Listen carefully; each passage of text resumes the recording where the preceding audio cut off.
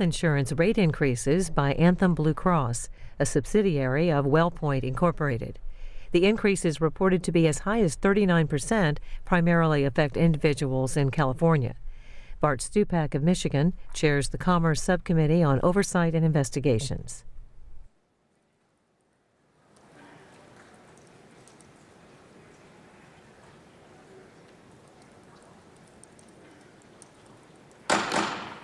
This meeting will come to order. Today we have a hearing titled Premium Increases by Anthem Blue Cross in the Individual Health Insurance Market. Before we begin, I ask unanimous consent that the contents of our supplemental memo be entered into the record. This supplemental report is in regards to our investigation in the small business health insurance market. Uh, we had a draft last night. and I think it was just finalized today. Just Okay, and the uh, company documents with that memo, there's a document binder I think we've all agreed on. So without objections, they'll be entered into the record. I should also note for the record that members will be going back and forth, uh, two floors up. Uh, Consumer Protection Trade Subcommittee is also having a hearing on telecommunications, which many of our members are members of both subcommittees, and they'll be going back and forth for this hearing. Right now, the chairman, the ranking member, and chairman emeritus will be recognized for a five-minute opening statement. Other members of the subcommittee will be recognized for a three-minute opening statement. I will begin. Today's hearing is the fifth hearing in this Congress that our subcommittee has examined questionable business practices in the private health insurance market. One of the hearings we had last year examined the problem of underinsurance. We heard stories about ordinary citizens who thought they had sufficient health insurance but learned that their policies were inadequate when they needed them most. We also looked into the problem of small businesses purging, which is when a health insurance company raises premiums to the point it is unaffordable for businesses to continue their health coverage. Lastly, we held two hearings on rescissions, which is the private insurance industry practice of terminating coverage after a policyholder becomes sick so the company can avoid paying expensive and much needed health care. Our hearing today will focus on rate increases in the individual insurance market in California. We will examine what is happening when insurance companies have no limitation or accountabilities on their rate increases. While most Americans receive health insurance through their employer in the group market or through government assistance programs such as Medicare and Medicaid, more than 15 million Americans receive their health insurance through the private individual market. The individual health insurance market is unique in that companies are limited in their ability to spread the risk among a larger population. While today's hearing will focus on WellPoint's proposed premium increases in California, this is a national problem.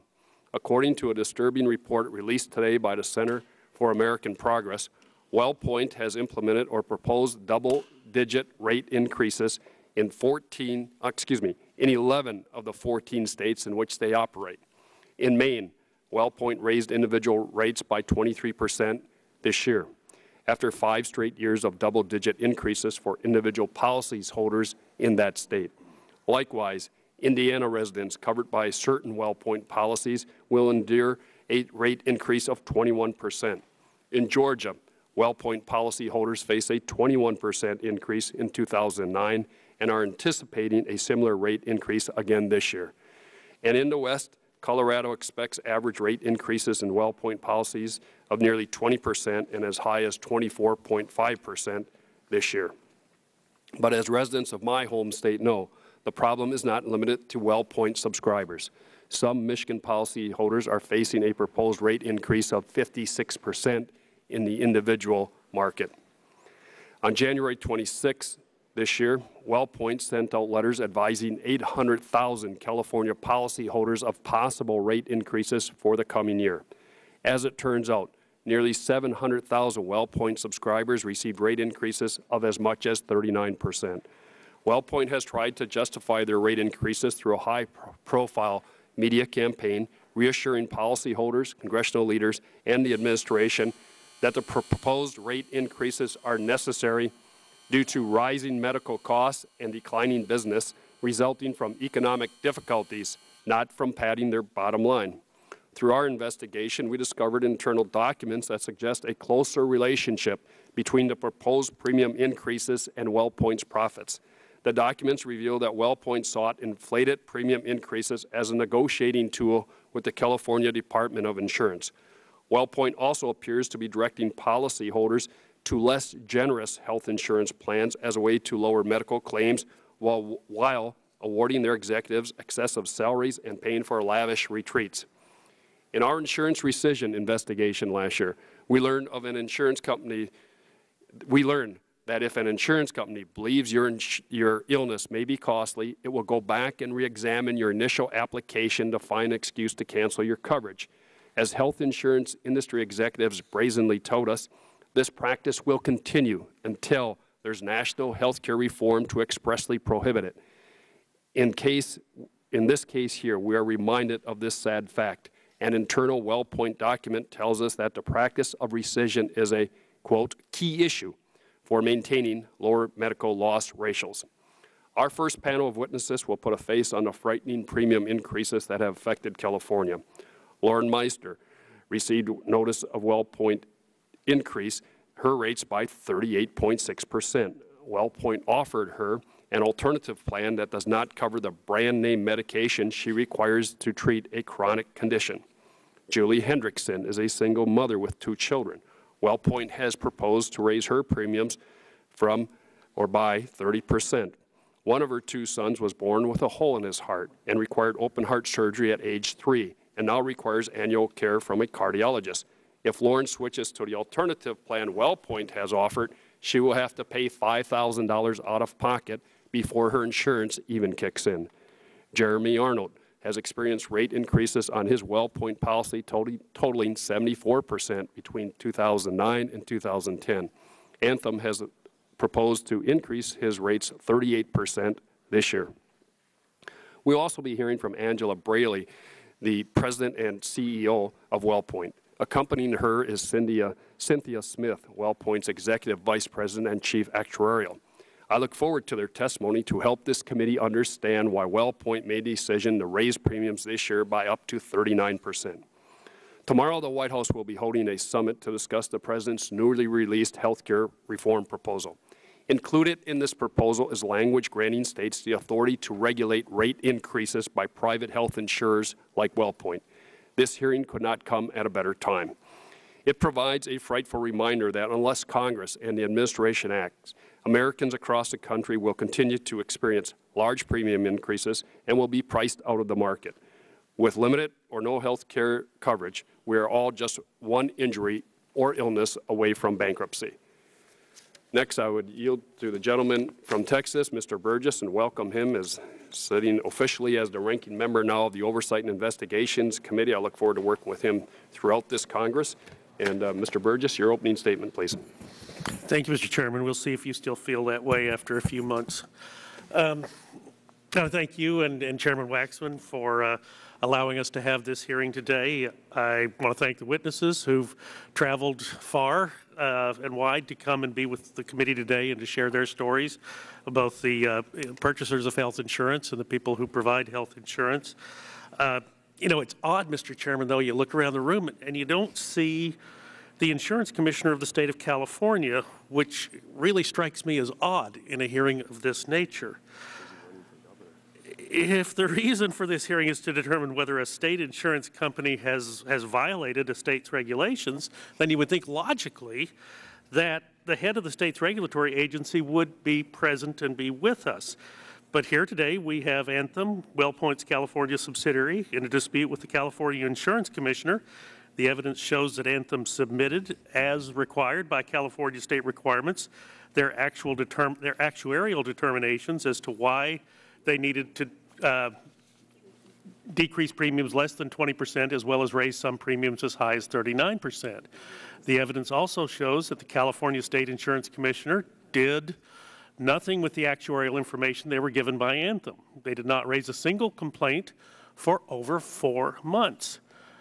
Now, why the, why the federal government is involved in a state issue, a state dispute, to me presupposes that the fundamental difference between the line of thinking between national Democrats and national in the health care debate. The central argument of the Democratic Party is that we need a national, single federal regulator oversee all health insurance companies, but Republicans believe fundamentally that insurance is a state issue and based on risk pools, how many people get sick at one time versus how many healthy people there are who won't get sick. So the actuaries look at the marketplace and determine this ratio. And of course, we're involved right now in this tremendous, tumultuous healthcare debate, or what used to be called a healthcare debate before the president renamed it uh, health insurance reform. And that's why the timing of this hearing couldn't be more coincidental. And just for the record, I'd never attribute anything to coincidence if it can be adequately explained by conspiracy. Tomorrow, the president is holding a bipartisan photo op on health insurance reform at the White House, a six-hour photo op, so it's a significant photo op. And his Secretary of Health and Human Services has used the state-based issue, issue, the increase of anthems uh, of the, in the state of California, to increase support as another reason why we need a one or two trillion dollar health reform package. In fact, the Secretary, his Secretary of Health and Human Services, has said that the profits of Anthem are outrageous, her words, and that the insurance companies should not make that much money. Why does profit matter if the actuaries have done their work? Well, I'll agree, a 39% premium is a huge number, a big scary number. But it may be irrelevant in this debate if the debate is on whether or not the business model of the insurance should be based on what the actuaries are determining as a risk spread. Now, I will make no apologies for the insurance companies. They're certainly capable of defending themselves, and if not, uh, then they deserve what they get. But uh, I think a GAO report needs to be commissioned to study how the insurance companies determine how much they are going to charge with their premiums. But if the numbers show that there will be a precipitous decline in the number of people who are in the risk pool, then any number, no matter how big, may in fact turn out to be acceptable. So if we're just focused on solving the dispute between California and Anthem, whose actuary is right? Now, wouldn't that be a scintillating hearing? We could have dueling actuaries. If Anthem is right, their actuary portrayed an accurate risk state for the state of California, or is the California Department of Insurance right to complain four months after the fact that Anthem is a bad insurance company?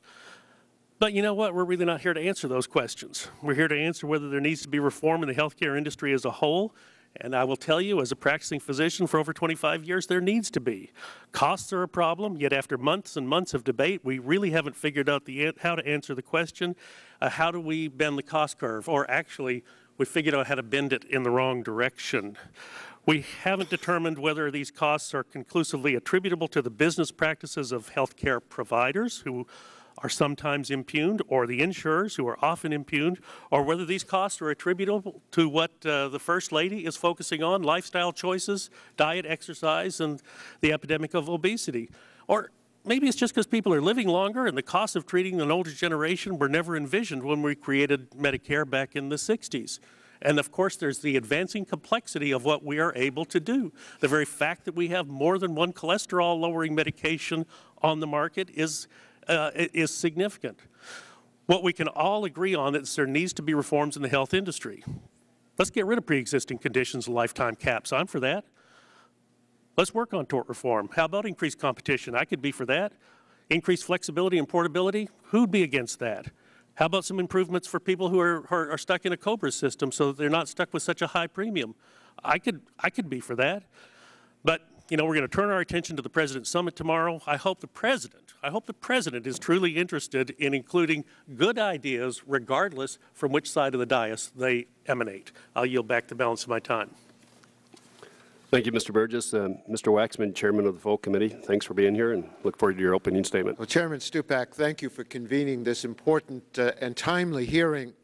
On February 4th, the Los Angeles Times reported that Anthem Blue Cross a subsidiary of WellPoint, intended to raise its rates as much as 39 percent for their 800,000 individual policyholders in California. And I want to single out uh, uh, Duke Helfand and Lisa Girion, who are reporters who've done excellent work on this issue and brought to our attention uh, the rescissions as well, which uh, uh, has been a, a, a tactic used by those who cover individuals for insurance policies. By any measure, this was a breathtaking increase in health insurance costs. We're holding today's hearing to find out what is really driving these enormous rate increases. WellPoint says the rate increases are a result of medical inflation and healthier policyholders dropping coverage. But the thousands of pages of WellPoint documents we have reviewed tell another story. They tell a story not about costs, but about profits, not about increasing coverage, but about reducing benefits to policyholders, not about removing barriers to coverage, but about erecting new ones, not about covering more people who have illnesses, but about cutting them off and seeking out new customers who are healthier and wealthier. The documents also tell a story of potential huge new premium rate increases still to come.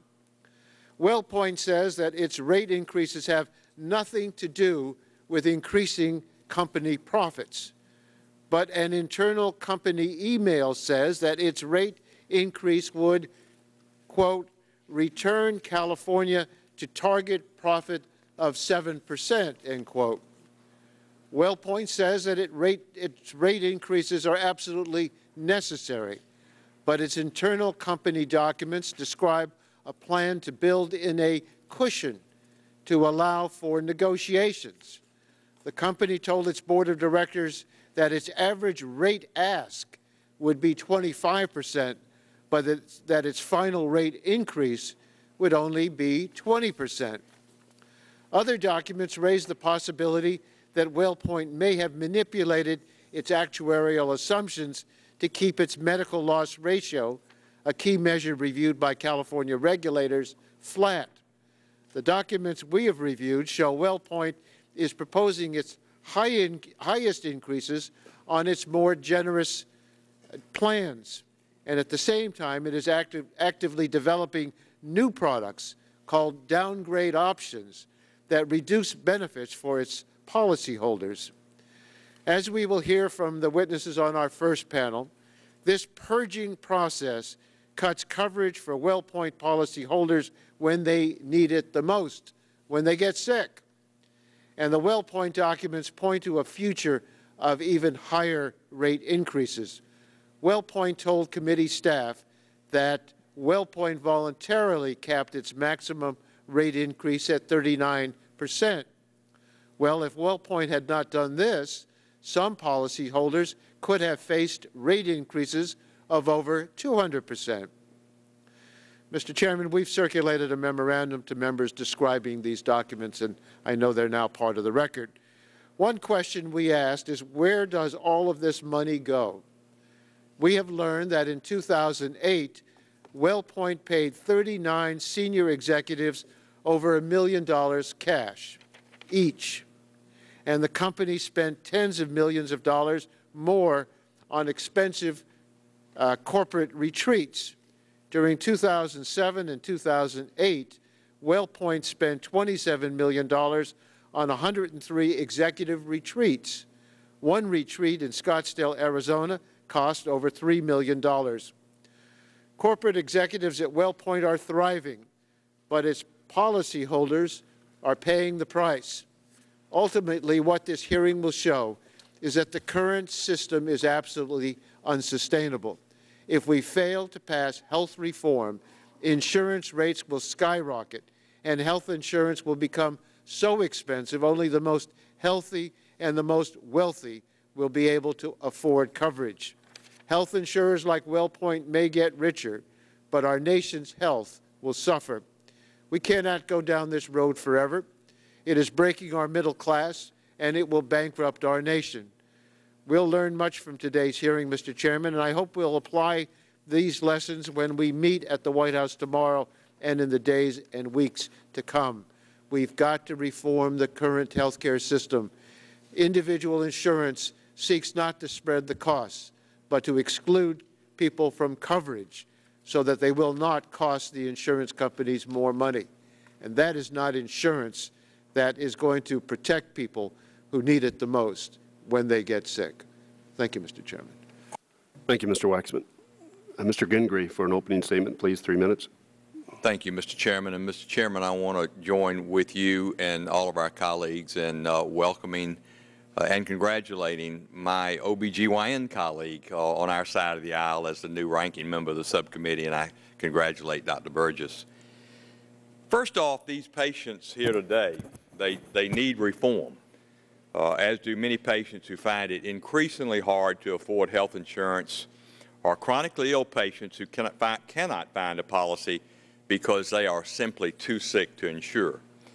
The increases they received, especially in an economy like the one we're currently experiencing, are tough to justify, and I would like to thank them for coming to today, and we look forward to your testimony. Throughout the past year, many in this Congress have seemed to operate in a bubble, seemingly oblivious to the needs or the wants of their constituents because of ideological reasons. We started this Congress with a hope that we would work together to reform our health care system. What we ended up finding was a Congress more prone to closing doors than opening them, creating special deals to, yes, buy Democratic votes instead of compromising to find Republican ones. I, along with many of my colleagues, continue to write the President and Democratic leadership offering my medical advice. Unfortunately, they have yet to respond. So whether it becomes a paycheck doesn't bring home enough money to afford it or our sickest patients cannot access it, every American should have quality health care. A majority of Americans and an overwhelming majority of Congress strongly agree with that sentiment. Yet, here we sit without a health reform bill because Washington continues to pursue a bill that they cannot sell to the American people. The Obama plan is the same bill with a few minor changes, notably changes that favor unions, increase cuts to seniors' health plans. If it was a popular bill, we'd not be sitting here today. If it was a good bill, we would not be sitting here today. Mr. Chairman, the American people simply do not want the Obama plan. Every day that this administration and this Congress spends in backroom meetings on the Obama plan is one day too many.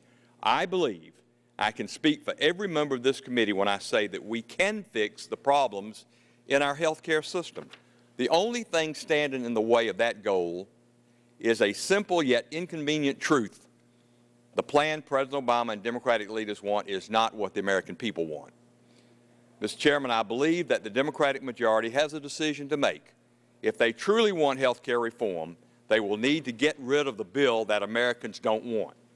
If they want bipartisan health reform, they will need to invite Republicans to work with them to help create legislation, not just to invite them to review what has already been created and now, of course, plussed up by another $100 billion inviting Republican leadership to a televised meeting at the Blair House while secret meetings on the Obama plan continue at the White House is not the change that the American people want or will accept. I look forward to the witness's testimony, and uh, Mr. Chairman, I'll yield back as my time has expired. Thank you, Mr. Gingrey. Uh, Ms. DeGette for an opening statement, please. Three minutes. Mr. Chairman, I'll submit my opening statement for the record. What I want to say I'm offended by some of the things that my colleague from Georgia just said. And the reason I'm offended by them, it's one thing for us to disagree about the content of a health care bill. It's another thing to disparage people's motives. Now, there are a lot of motives to be disparaged on both sides of the aisle. But I will say every single member of this committee who has worked on this bill, from Chairman Waxman to the ranking member to everybody else has worked hard on this bill. Now, Mr. Gingrey and his colleagues may not like the bill that this committee passed, but they cannot deny that we spent hours of hearings in this committee and we spent hours of markups considering amendments from both sides. And if you don't like the bill, that's just fine. That's not a partisan problem. That's a problem of not liking the bill, and I understand that. But I would ask that Mr. Gingrey and everybody else just quit painting everybody with the same broad brush. Because if we ever hope to restore a spirit of comity to this committee and this Congress, attacks like that should not be countenanced on either side of the aisle. I want to say one more thing. There really is a problem here that we're trying to deal with, and I don't think anybody in this room would disagree with that. As the chairman said, there are proposed rate increases by Anthem Blue Cross in California, in Michigan, in Connecticut, in Maine, in Oregon, in Rhode Island, and 20% in my home state of Colorado. Now, today on the floor, they're going to have a bill uh, repealing the antitrust exemptions of the McCarran-Ferguson Act. Only two industries currently enjoy those exemptions, and that is the healthcare industry and Major League Baseball. I guess we can talk about Major League Baseball later this year. But, but if we want more competition, it would seem to me that this would be a good start, and I would hope my friends on both sides of the aisle would vote for this bill.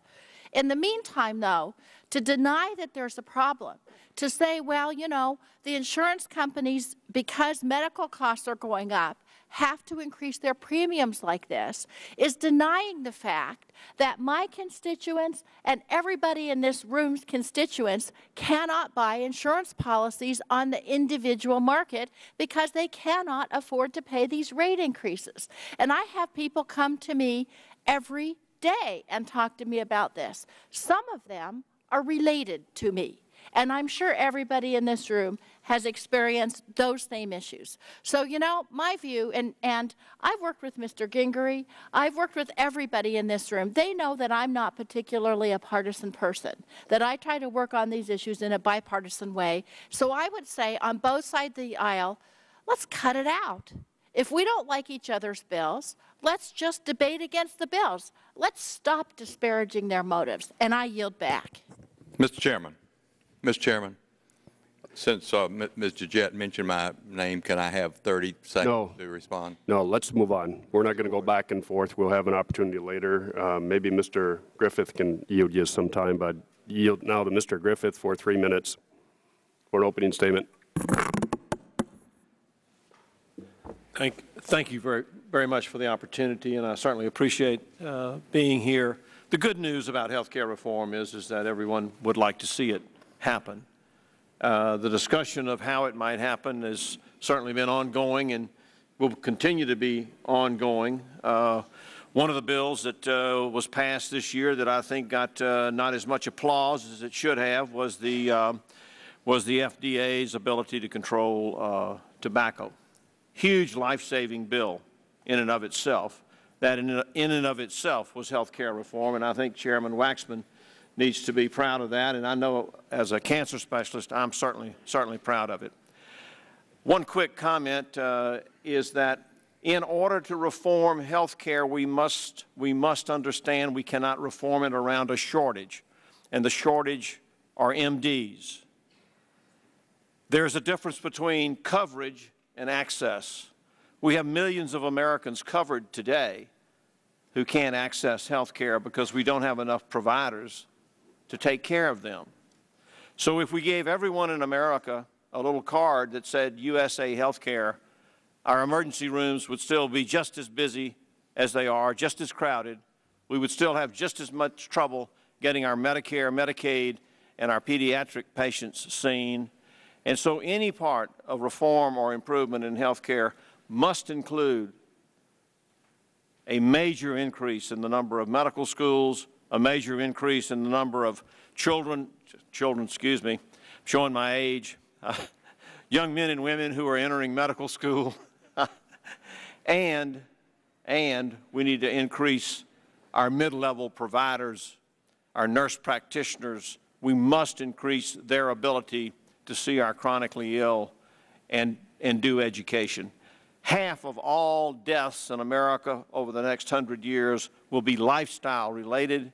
There will be smoking, overeating, not enough exercise, unrelated to infection or malignant disease. Thank you, Mr. Chairman. Thank you, Mr. Griffith, and I should say welcome to the committee. It's your first time with us. Welcome to the committee. Uh, next is uh, Mr. Braley for an opening statement.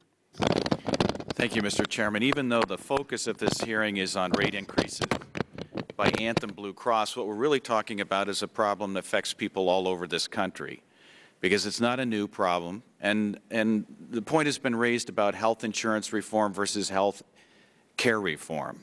I've always stressed the need for comprehensive global health care reform, and we cannot afford as a country not to move forward with health care reform.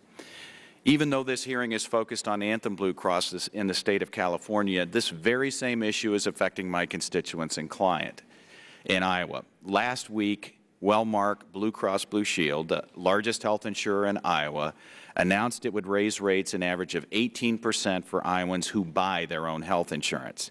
And that's expected to affect about 80,000 Iowans. Some of them will see their rates go up over 20 percent. According to Wellmark, this is the largest annual increase since 2006, and the troubling rise in premiums comes on top of an average 9.3 percent increase for individual policyholders last year and a 54 percent increase in rates for individuals over the past five years. So when asked about this, the company spokesman noted that this was not related to anything that we don't already deal with and, and blamed increase in chronic conditions such as obesity and knee and hip ailments as well as the price of prescription drugs and how high-tech medical imaging. And this is what's very fascinating. He also said the real way to make insurance more affordable is to lower health care costs and require everyone to have insurance, which is one of the very points that we have been struggling with in this debate over how we address the problem of providing access to health care coverage for millions of Americans. So I think Iowans want to know exactly why companies like Wellmark and WellPoint are raising rates on these individual plans and what factors went into their decisions. Because everyone who's affected by this deserves a detailed justification for the increases from their insurance companies. They deserve to know that their elected officials are working to ensure appropriate and adequate oversight and regulation of the insurance industry and working to ensure that they have access to quality, affordable health care. That's why I believe this hearing is a good first start, but it's also one more example about why we need comprehensive health and health care reform in this country. All Americans deserve access to quality, affordable health care coverage as soon as possible. And unless we look at all the contributing factors, including unregulated high increases in health insurance premiums, which have been going on for decades in this country, we're never going to get at the root of the problem, and that's why I look forward to the testimony of our witnesses, and I yield back. Thank you, Mr. Braley. Uh, Mr. Green for an opening statement, please. Mr. Chairman, I want to thank you for holding this hearing today on the recent individual health policy, insurance policy increases proposed by WellPoint and Anthem Blue Cross Blue Shield in California. Millions of Americans do not have insurance through their employers or, or through public programs, and they turn to the individual insurance market to purchase an insurance policy. Individuals who purchase insurance through the individual market must go through a sometimes difficult application process, and often they're denied coverage due to pre-existing conditions. Even if they're approved for coverage, they cannot afford the premiums in the individual market. We do know that in tough economic times, like these, individuals, healthy individuals will drop their coverage to save money because health premiums across the board are too high. And because of this occurrence, could have reduced their, these risk pools so significantly that extreme in premium increases are necessary for those individuals who want to maintain their individual policies. At least that's the explanation given by WellPoint President and CEO Angela Braly to HHS Secretary Sebelius when asked to explain skyrocketing premium increases in California. There are not enough healthy people in Anthem, Blue Cross Blue Shield, California individual market, and a 39 percent premium increase is necessary for Anthem to continue to provide individual market co coverage in that area. The data emerges from the National Association of Insurance Commissioners clearly showing that enrollment in Anthem uh, BCBS in California increased from 583,967 individual policies at the end of 2008 to 627,082 individual policies at the end of the third quarter of 2009. That's an increase of over 7% in the individual market for Anthem in California alone, so a high rate increase because of a reduced pool doesn't make sense. It appears to me that the insurance industry's dirty little secret, drastically increasing individual policy rates without justification and running roughshod over consumers, have finally been brought to given the public attention it deserves. Our companies and, and Anthem, uh, Blue Cross Blue Shield, has been trying to get away with these outrageous type increases in Michigan, Rhode Island, Washington, Connecticut, and Maine, just a few. Unfortunately, states like Texas have very little we can do to prevent these rate increases and going into effect and we're often at the mercy of the insurance companies, and that is historically true in Texas. Today, we're finally telling the insurance industry that the party's over. You've been making astronomical profits in the individual market off the backs of the sick and working folks who have not, who do not have an option to obtain health insurance, but in the individual market. It's gone on too long. Both the House and Senate reform bills contain provisions to give states and HHS Secretary the ability to review health insurance premium increases, and the President's proposal to take this step, uh, this one step further by creating oversight of insurance premiums at the federal level. If individuals continue to cannot afford health insurance, they end up in the emergency rooms, forcing the health care system and the taxpayer to pay for their expenses. Yet the insurance companies continue to see increased profits while making it nearly impossible for individuals to gain access or to afford a policy. These hearings will highlight what we need desperately need insurance reform and health insurance reform in our country. All individuals should act, have access to quality and affordable health insurance. And, Mr. Chairman, we're not seeing that in our country. Otherwise, uh, insurance reform wouldn't be needed. But we know in my particular district, 43% um, of my constituents who are working don't have insurance through their employer, so they don't have a group plan, so they have to go to the individual market, and so often they're priced out of it. Now, yield back my time. Thank you, Mr. Uh, Mr. Markey for an opening statement. Thank you, Mr. Chairman, very much. Uh, many people think that the health insurance reform doesn't matter to them because they already have health insurance. Skyrocketing premiums and insurance company abuses, however, reveal a different story. Medical bills are the leading cause of personal bankruptcies in the United States today. In 2009, 60 percent of all people who declared personal bankruptcy did so because of their medical bills and 80 percent of those people actually had health insurance. They just weren't covered for what it was that ultimately came uh, to become the disease that affected them or their family. People just discovered they weren't covered. It is appalling that over the coming weeks and months, when many Americans sit down to pay their bills, they will open a letter from their health insurance company informing them that their premiums will increase by 14, 22, or even 39 percent. Last week, I spoke with a small retail business owner named Diane uh, from Woburn, Massachusetts, in my district. She recently got a letter from her insurance company saying that her health insurance premium is jumping by 32 percent from $494 per month to $652 and her husband had the same increase. So this is essentially a 30 percent uh, increase. Uh, and she says to me, personally, my small business is struggling to survive, and I'm expected to pay an extra $158 for the same health plan. It's making an already difficult economic situation even worse.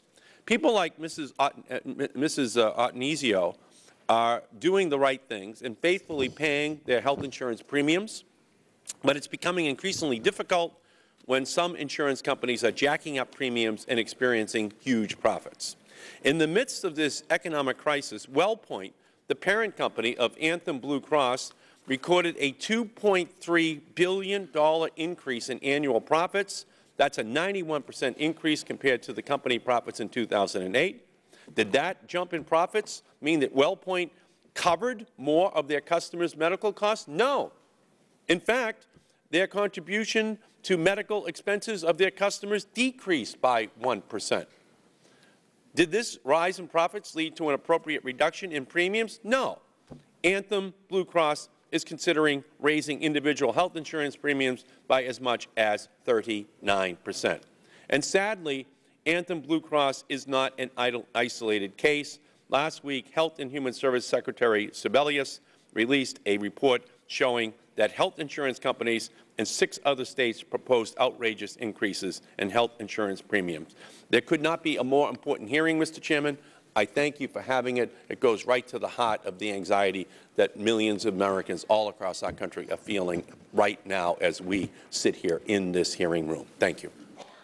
Thank you, Mr. Markey. Ms. Christensen for an opening statement. Three minutes, please. Thank you, Mr. Chairman. Um, amid the reports of record-breaking profits in the insurance industry. Almost 3 million more people in this country lost their coverage. So I want to thank you, Chairman Stupak and Ranking Member Burgess, for having this oversight hearing on what proposes to be an extreme increase in insurance premiums. This morning, we're looking at what is happening in California, but premium increases every year, year after year, are hurting American families and increasing the ranks of the uninsured, exactly the opposite direction this country ought to be moving in. Over the years, I've worked with WellPoint, and I applaud the work they've done in diversity and wellness programs and other areas, but I am alarmed by the proposed 39% increase in premiums. Despite the reasons they offer, I do not see that they support the need for these premium increases, and I cannot support them. WellPoint is among the big five who enjoyed a combined profit of $12.2 billion last year. I don't grudge them their profits. You're in the business to achieve profits, but ordinary folks, your clients and others, are having to make unsustainable sacrifices to keep health insurance and to make ends meet. I cannot see why keeping the premiums where they are, having been raised around 20 percent last year, would be an even comparable sacrifice for WellPoint or its shareholders, because as I see it, you would still realize substantial profits. We welcome WellPoint support for health care reform. Indeed, in a very real way, this Congress's failure to pass meaningful legislation, such as we passed in this committee last year, is a major part of the problem we are discussing today. It's time for our Republican colleagues to stop blocking what we and the other committees passed long af after long hearings and markups in which everyone was involved. So anyone who goes to the White House tomorrow without a determination to ensure everyone to ensure everyone, to provide equitable health care to everyone, including those living in the territories, and reduce health care costs should get out of the way and let others who will do what has to be done sit in their, in their chair. If there's anything that WellPoint and those of us on this side of the DS can agree on, is that we might not be here having this hearing today if the President had signed the kind of legislation this House passed last year. I want to welcome our, those who are here to testify this morning, both the customers of WellPoint and the officials from WellPoint, and I look forward to your testimony. Thank you. Uh, Mr. Welch, for an opening statement. He stepped out away. He must have ran up one. Uh, Ms. Sutton, opening statement. Thank you, Mr. Chairman. Thanks for holding this hearing today. I'd like to be able to say that I'm shocked that we're talking about this, but sadly I'm not. While I understand that this hearing focuses primarily on Anthem Blue Cross in the California market, unfortunately, as we've heard here, the situation is not unique. Across this country, millions of Americans, uh, affecting both individuals and businesses, are being devastated by shocking increases in their health insurance premiums. And let's be clear, health insurance companies have been socking it to the American people and businesses for years. Healthcare for America Now recently released a report that found that in 2009, the health insurance industry had record profits. Let's just think about that. In 2009, a year when the average American family suffered unlike any year in recent history, health insurance companies still had record profits. And according to the report, the five biggest for-profit health insurance plans had combined profits of $12.2 billion in 2009, up 56 percent from the year before. According to a Health and Human Services report, over the last nine years, profits at the largest insurance companies increased 10 times faster than inflation. And over the last decade, the amount private insurance companies spent on administrative costs administrative costs, instead of paying claims and covering care, the amount that they spent on administrative costs grew faster than the amount they spent on prescription drugs as well. Premiums continue to skyrocket, but consumers don't receive additional benefits or care. These increased premiums mean families have to make untenable choices. They're forced to sit down and weigh their chances of getting cancer or getting hit by a bus against having to pay an insurance premium that is now suddenly 30% higher, sometimes higher than their mortgage. Choosing to pay the higher premium means they may, may not be able to pay their heating bill or other basic life necessities or send their children to college. Or sometimes it means choosing, if you can even call it a choice, to not have health insurance. This is not a situation that should occur in the United States of America. And that is why we've heard a lot about health care reform.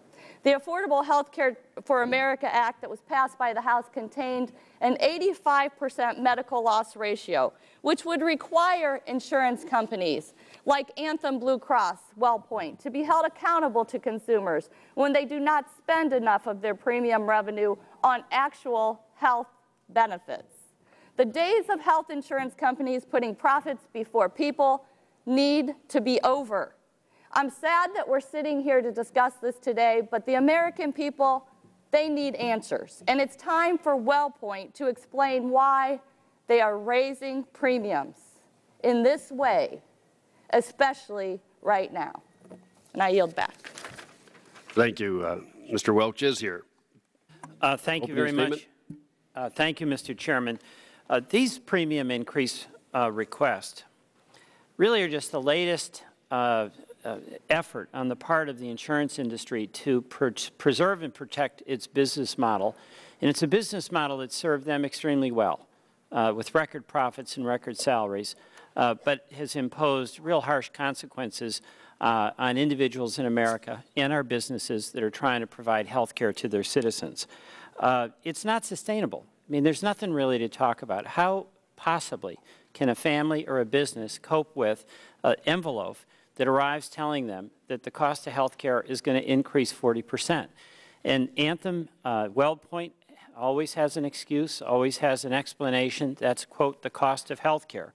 But essentially, what the insurance industry has done, unfortunately with a good degree of success, is block any systemic reform which this country needs in order to have a health care system that's affordable and accessible. It's pretty astonishing when you look at what the premium increases has been, 26 percent between 30, 2003 and 2008 for single policies, 33 percent for family policies. The 10 largest health insurers saw their profits balloon to 2 point, from 2.4 billion in 2000 to 13 billion in 2007. And as uh, the member from Ohio was saying, the amount paid to health providers has gone from 95 percent in some cases to 74 percent. That has enabled some companies to pay executive salaries in the range of $24 million. In my own small state of Vermont, when the CEO of Blue Cross left, he got a $7.2 million golden parachute. That came out of rate increases. It came out of businesses that were struggling with the decision about whether they were going to cut workers or cut their benefits, a decision our employers don't want to make. So if I have a, a, if I have a complaint about the insurance industry, it's not the individual rate increases, it's the consistent effort to stand in the way of health care reform so that the folks in this country, the businesses in this country, can have some confidence that they're going to get affordable and accessible health care. Health care is not about being in service of the insurance industry. The insurance industry should be about in being in the service of helping us have access to health care. I yield back. Thank you, Mr. Chairman. Thank you, Mr. Welch. Last but not least, Ms. Schakowsky, uh, opening statement, please.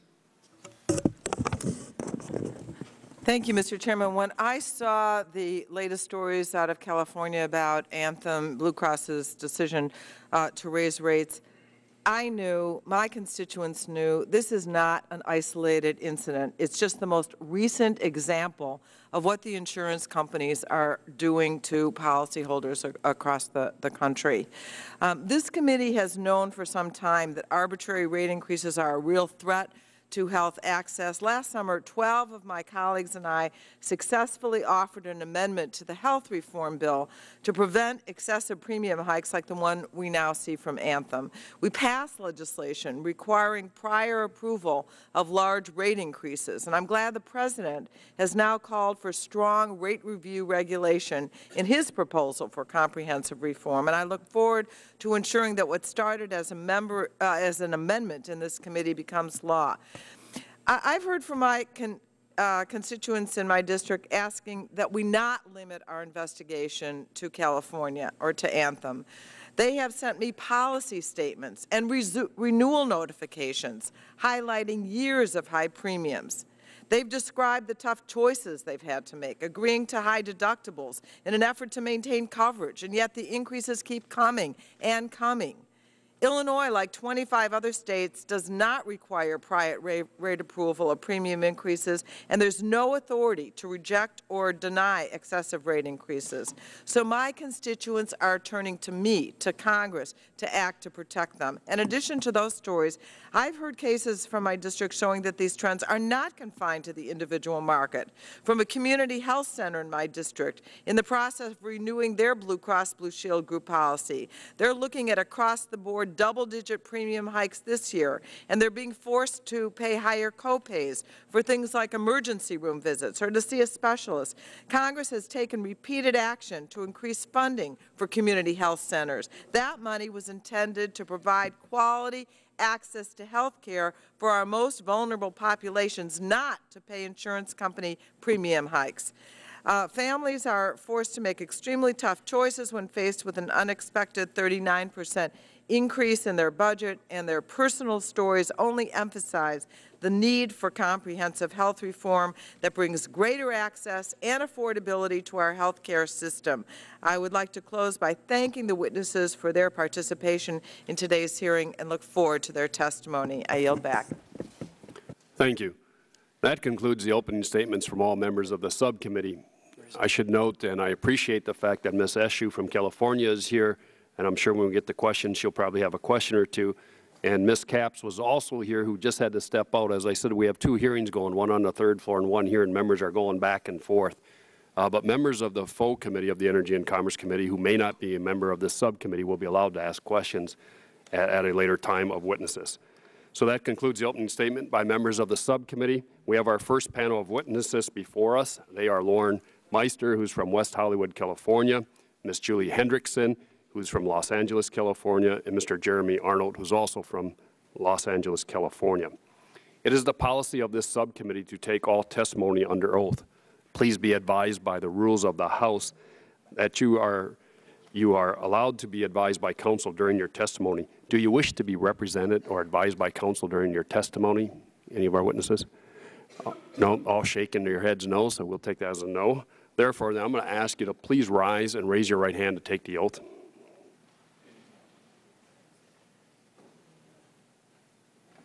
You swear or affirm the testimony you're about to give before this committee is the truth, the whole truth, nothing but the truth? Let the record reflect the witnesses have replied in the affirmative. They are now under oath, and they will begin with an opening statement. I would ask Mr. Arnold if you would not mind going first. Uh, pull that mic up, uh, press a button, a green light should go on, and you need to keep that mic fairly close to your uh, voice in order to uh, project your voice. Okay. If you begin, please. Thank you. Good morning, Mr. Chairman, members of the committee. I am an Anthem Blue Cross policyholder who has been directly impacted by Anthem's astonishing proposed rate increases in California. Because I work as a self-employed writer and also have an additional part-time job, I have had to purchase individual health insurance. Two weeks ago, Anthem informed me that the premiums on my Right Plan PPO 40 policy we're going up 38 percent, from 231 to $319 a month. This follows an increase exactly one year ago of 26 percent, when my rates went up from 183 to 231 a month. In other words, my premiums are poised to rise to a level that is a whopping 74 percent higher than barely over a year ago. This is outrageous. My benefits have not improved in any way and I don't go to the doctor that often. Last year, I went a handful of times and paid about $1,250 in medical bills.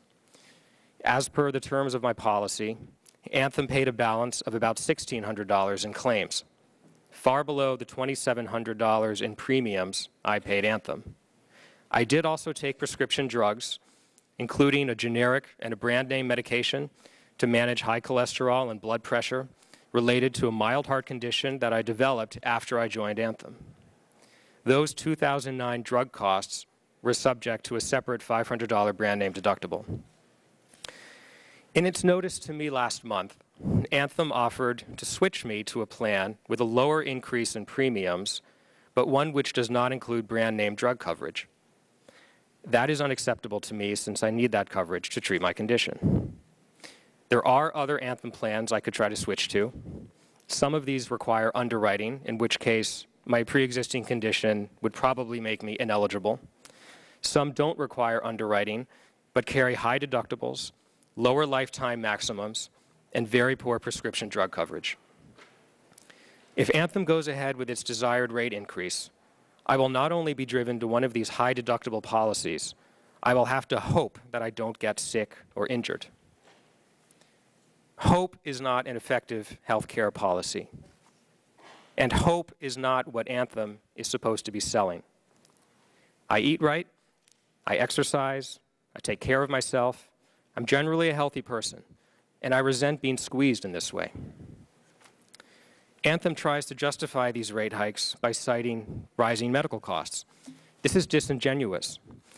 If insurance companies believe that medical costs are out of control, they should fight them rather than simply passing them off to ordinary Americans.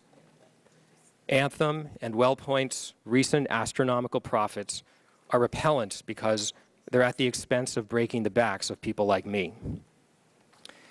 I have no problem with corporate, with corporate profit making. But I do have a problem with profiteering, especially when it's at a level that penetrates so far into the economic and social well-being of our country that we Americans are discouraged from pursuing dreams and starting businesses and are stuck in undesired jobs simply because we worry about losing our health insurance or being able to afford it for our employees. This is wrong. It's insane. And it must be fixed by doing whatever it takes to pass meaningful health form now, uh, health reform now, excuse me.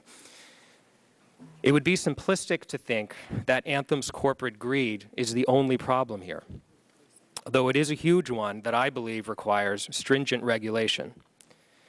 Sharing the blame are indeed hospitals and doctors raising rates far above what is defensible, and a legislature that is too beholden to special interests and consumed with partisan rhetoric to take necessary action. All these parties feed off each other to conveniently and happily line their own pockets or win elections while blaming the other side and caring not a whit about the rest of us. In conclusion, I want to say to Anthem and the insurance companies, including WellPoint President Angela Braly, to hospitals and medical providers, and to legislators on both sides of the aisle, I ask you all, in words that are as true today as they were in 1953 when Joseph Welch first said them, have you no sense of decency at long last?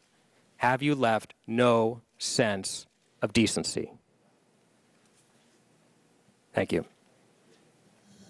Thank you, Mr. Arnold. Ms. Hendrickson, uh, your opening statement, please. You might want to pull that mic up closer. It really has to get close to your mouth, otherwise we won't hear it. Good morning, Chairman Stupak, Chairman Waxman, and members of the committee.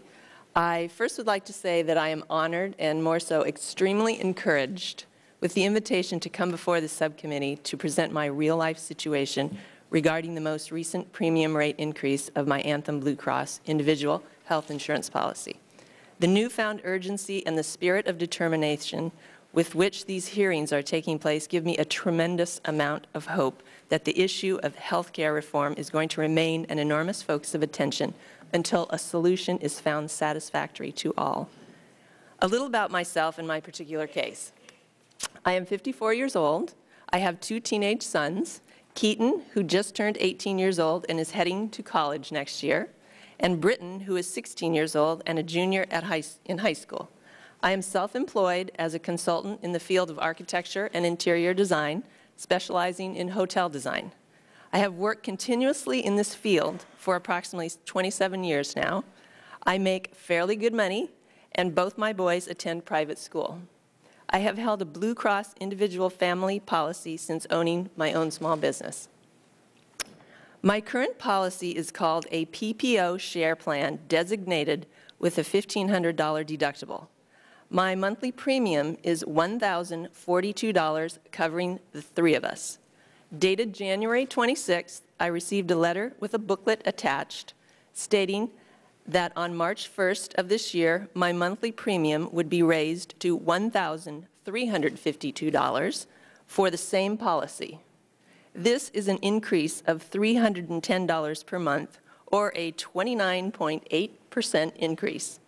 Just to clarify, my current policy states that I must meet an annual $1,500 deductible for each two members of my family, which totals 3,000, and an annual out-of-pocket expense of 4,500 for each two members of my family, which totals 9,000. in addition to the yearly premium of $12,504 that I pay already.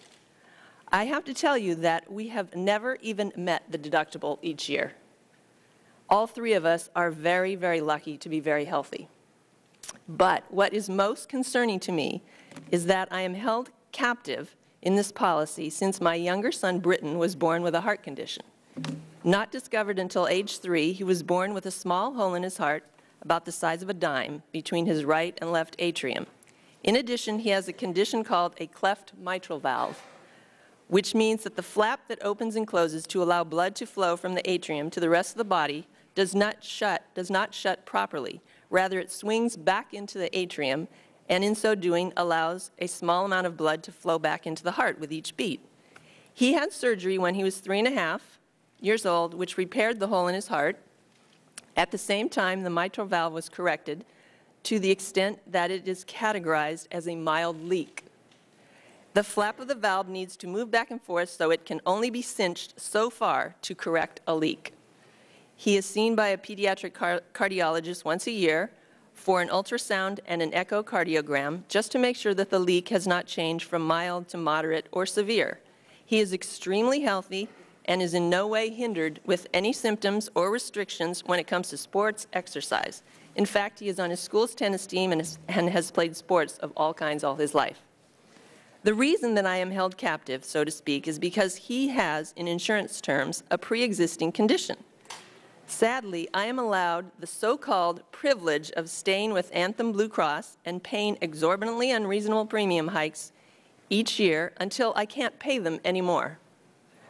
In the same written notice by Anthem, I was offered a downgrade to my policy to an annual $2,500 deductible for each member with a 5,000 dollars annual pocket, annual out-of-pocket amount for each member at a cost of 1,089 per month, an additional increase of $47 to my current 1,042.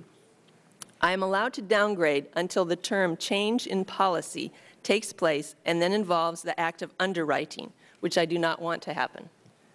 I should note here that if I were to accept this new monthly premium of 1,000 $352, thereby retaining my same current policy. This amount would be shy just $92 of my monthly home mortgage payment, which I refinanced this past summer. What worries me most is what will it be like for my son when he is 22 years of age and I am no longer able to claim him as a dependent on my taxes? Will he be excluded from any kind of policy because of this unforeseen heart condition when he was born? I must tell you that I have never written to any government officials or office before this. And though my letter, just another amongst many in the storm of shock and outcry about Anthem's premium increases. But I felt so compelled to do so for the very reasons stated above, and the fact that in this economically depressed environment, I find the act of Anthem Blue Cross raising premium costs to individual policyholders for such high amounts truly unconscionable.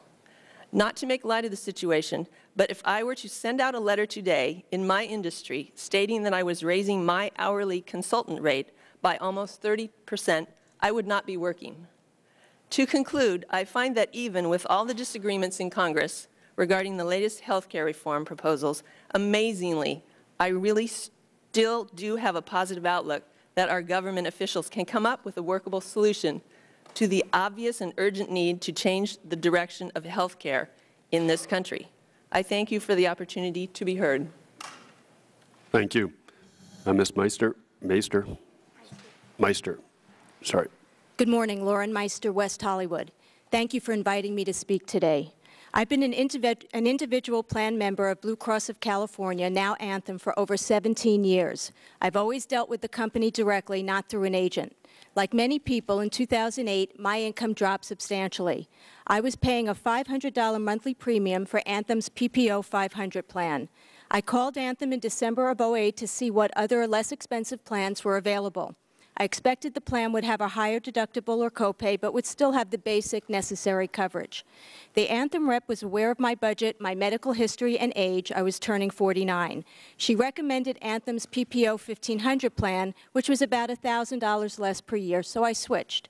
Just a few months later, I received a notice from James Oatman, VP and General Manager of Anthem Blue Cross Individual, that rates of, for the PPO 1500 plan were being increased in March of 09 and that the new monthly premium would be 528, even higher than what I'd been paying for the PPO 500 plan, but with less coverage.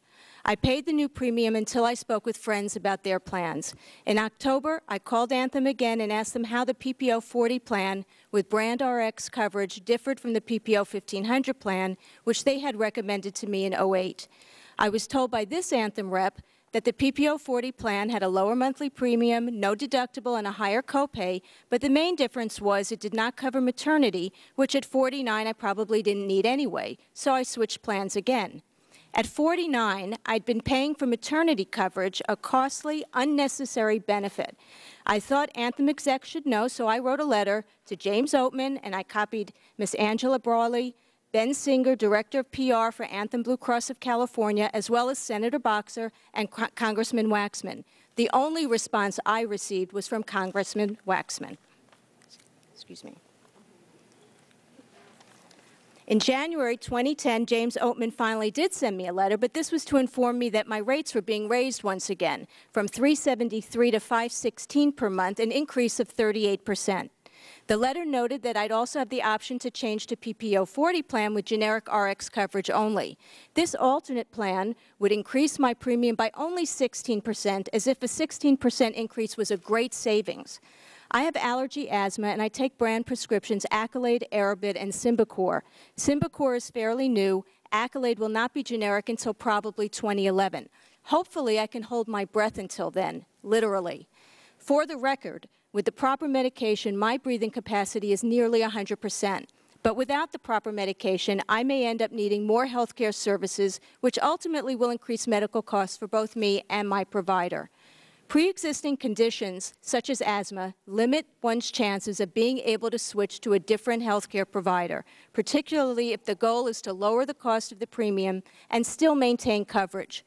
This is only one of many reasons why we need health care reform. I read that Anthem's explanation for increasing rates by up to 39 percent was rising medical costs. In one respect, Anthem is right. It shouldn't cost $20 for a hospital to administer an aspirin. But then Anthem's executive salaries and stockholders do not appear to be suffering. And how much money goes to lobbyists trying to prevent health care reform, the same reform that Anthem indicates is necessary to keep health care costs from rising. My issue with Anthem is shared by many and is just a symptom of a broken system. We have a system where prevention and wellness are not encouraged nor embraced. For example, because I was turning 50, my doctor prescribed a bone density test for a baseline measurement. Anthem Blue Cross did not cover one nickel of that test, even though that test could determine if I had a propensity for osteoporosis. Penny wise, pound foolish. It's obvious the healthcare industry needs to be regulated. We saw what deregulation did to the cost of utilities in California. We saw what the lack of regulation has done on a global level to our financial and banking systems. Well, it's having the same effect on our healthcare system. If the city of West Hollywood, where I live, can regulate how much landlords can raise the rent each year to keep rents stabilized, why can't the federal government regulate how much insurance companies can raise their rates per year in order to stabilize premiums? I believe that we should all be able to buy health care coverage. If someone can afford to pay for private insurance, great. But if not, there's got to be a public, not-for-profit alternative without having to move to Canada, England, or France. Some representatives from Congress have stated that we don't need a public option. I say to them, I just want what you have, nothing more and nothing less. To me, insurance is like marriage. You expect the insurer to be with you in sickness and in health. That's why we buy insurance. If the insurer can't live up to this expectation, then perhaps they need to get out of the business of insuring. I also want to just reply that I'm an American and I support Obama's uh, health plan. And uh, I just wanted to make that clear. Thank you. Thank you, and, and thank you all for your testimony and, and for coming here today. Uh, we're going to start with questions. We'll start with the uh, chairman of the full committee, Mr. Waxman, for questions, please. Thank you very much. I, I appreciate the testimony each of you has given. Uh, Ms. Meister, you indicated you're a constituent. I don't know if the other two witnesses are also constituents because you're from L.A. I do know that WellPoint is a constituent uh, of mine as well. And I want to do what's right for all my constituents. But it's not right to have insurance companies deal with ever-increasing costs by shift, shifting those costs onto the beneficiaries of their, of their customers, because that's what they're doing. If you have a brand-name drug, they won't cover it. You have to pay for it if you want it. If you uh, want insurance, they figure out a way to increase your rates to keep the policy you already have. This is the problem with individual insurance. What we have as federal employees is that we can choose between a number of different plans, and they can't turn us down. And they can't charge us more if we have pre-existing medical conditions. We get coverage because the costs are spread among all the insured. That's true of federal employees, members of Congress, for a lot of people that work for large employers that provide coverage. But the three of you are not in that situation. You have your own business, you have part-time jobs, you have your own activities, so you have to go in the individual market. Those are the people, for the most part, who don't have insurance coverage because they can't afford it. And it looks like you may not have insurance coverage yourselves if you don't pay these increased rates, or they give you another alternative. WellPoint lets you go into another plan that costs more and covers less. What a deal. It doesn't hold down the costs of care. It simply makes you have to pay more of it. But that's not what you want from insurance. You want insurance to cover at least their share of the costs, and you would also like them to negotiate better prices to hold down health care costs overall. I don't see any evidence of holding down costs except shifting them on to you. Let's look at this uh, situation that you're facing. Uh, Ms. Meister, you talk about your current plan. Uh, you have a PPO. You have to pay a percentage of your medical costs. And you um, have a, uh, you use a brand name drug as well as generic medications after you meet your deductible. Is that a correct statement of, uh, of the plan you have generally? Yes, and the brand drugs only come, they don't come in generic. So you can't get a generic for those where you need the brand name drugs. Uh, you told us in your opening statement you take your medication to treat chronic asthma. Uh, these, are, these are not in generic form. So if you go along with what uh, you're being told by Anthem, you'd have to switch to a plan with inferior coverage or attempt to pay the higher monthly premium. That's where they've got you in the squeeze, isn't it? That is correct. Uh, have you decided what you're going to do? I've decided that I'm going to take the lower coverage with the generic brand and I'll pay out of pocket for the brand medication. And Mr. Arnold, you have a, a, the same health insurance plan as Ms. Meister, and they propose to increase your costs by 38 percent as well. Or you could switch to a plan that covers generic medications only. Is that right? That's correct. Or I could I could switch to a plan that also covers brand name, but one that has a much higher deductible overall.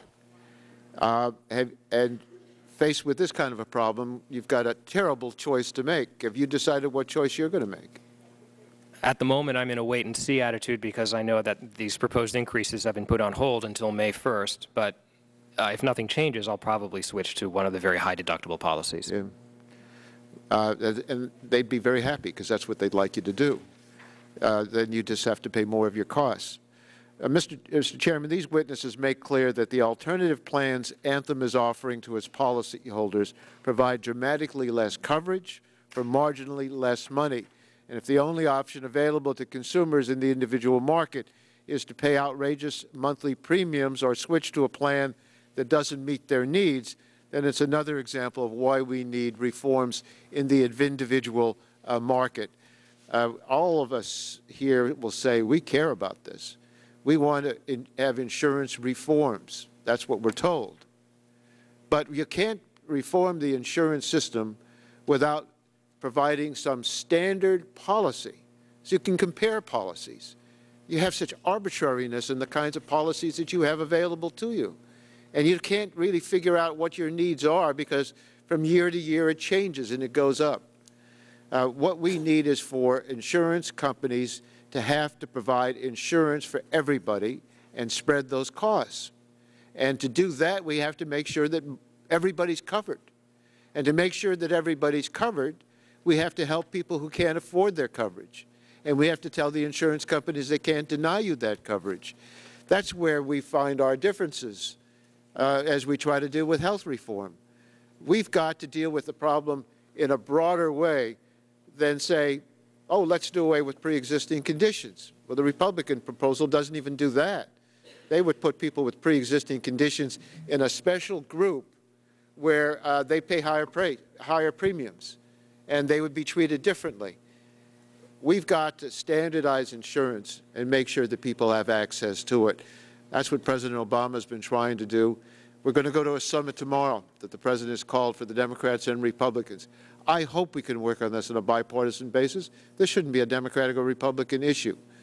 But we'll see tomorrow whether we can look for common ground rather, rather than hear the accusations back and forth uh, that uh, we want to socialize medicine or we're going to create death panels or we're cutting back on people, the elderly, and then yet we find uh, uh the, the, lack of cooperation to find uh, a solution to this intractable problem.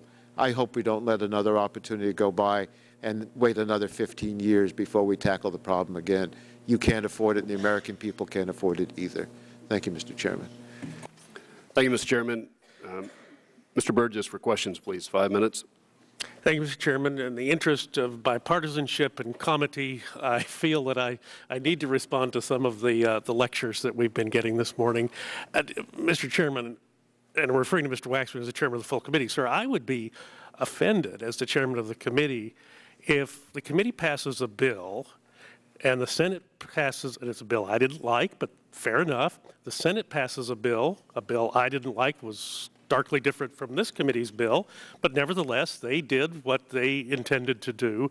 And then the proper process is for the two sides to get together, House and Senate I'm talking about, not Republicans and Democrats, but the House and uh, Senate to get together and reconcile the differences in what's called a conference report, and we, this is part of our normal procedure. But now we have a situation where the White House functioned as the conference with no input that I'm aware of from yourself or Mr. Stupak or Mr. Rangel or Mr. Miller, uh, the chairman of the Education Workforce Committee, the White House put together this conference report, and now we will be required at some point to vote on that and deal with it through a process called reconciliation, which is a little arcane, but it means you don't have to have quite so many supporters to get this done. And if the American people were behind what we were doing, it wouldn't be this difficult. Now, you can look at polls however you want, but 60% of the American people don't like what we're doing. 20% of the people are in favor of Congress generally, and 45% of the people are in favor of the president. So with these sorts of numbers, it is difficult to do something this massive in the form of restructuring. Now, just a, a, another issue that you, you made, you brought up the Federal Employee Health Benefits Plan. It is an employer-sponsored insurance, so it doesn't exactly translate to what we're talking about here today, but had we worked more on making the individual market look more like the ERISA protected market under employee-sponsored insurance, the multi-state corporations that provide insurance to their employees across the country that aren't so beholden to things like state lines, uh, perhaps we could have delivered something that was meaningful for someone in the individual market. I've been in the individual market. I know that it's sometimes tough to find the plan you want. I've had adult children in the individual market. I've had to keep up with, uh, with things that they chose not to, but I thought was important. We do have regulation in the individual market. It occurs at the state level right now. That may be a bad thing. Maybe it needs to be at the national level, but you know, and I just looked through the Federal Employee Health Benefits Plan book, I get a better deal because my residence is in Texas than I would in California, and certainly a better deal than I would get in New Jersey. So maybe I don't want a national regulator who's going to base everything on an area that is really not, uh, not germane to where I live. So we do have to be sensitive to the fact that the states are different. Now, we passed a bill twice in the 108th and 109th Congress that would have allowed aggregations of small businesses across state lines, so-called association health plans, that would have given, the reason there's not pre-existing conditions in the federal employee health benefits plan is not because we set up something that's better for ourselves, it's because the pool is so big, there's so many federal employees, which may be a good thing or a bad thing, we could argue about that, but there are so many federal employees that the pool is so large that pre-existing conditions actually don't, don't enter into the equation. What uh, we could do for writers across the country, for example, or architects across the country. Let every architect buy into an association plan where all the other architects buy into it. Realtors, whatever kind of association you want to make, and suddenly you've got a pool that has the, the, the, the, the market share of a company like Verizon that sells in all, uh, has employees in all states of the union and, and buys insurance for them. Uh, Mr. Arnold, I think, uh, I think you brought up about the, uh, the affordability of the premium.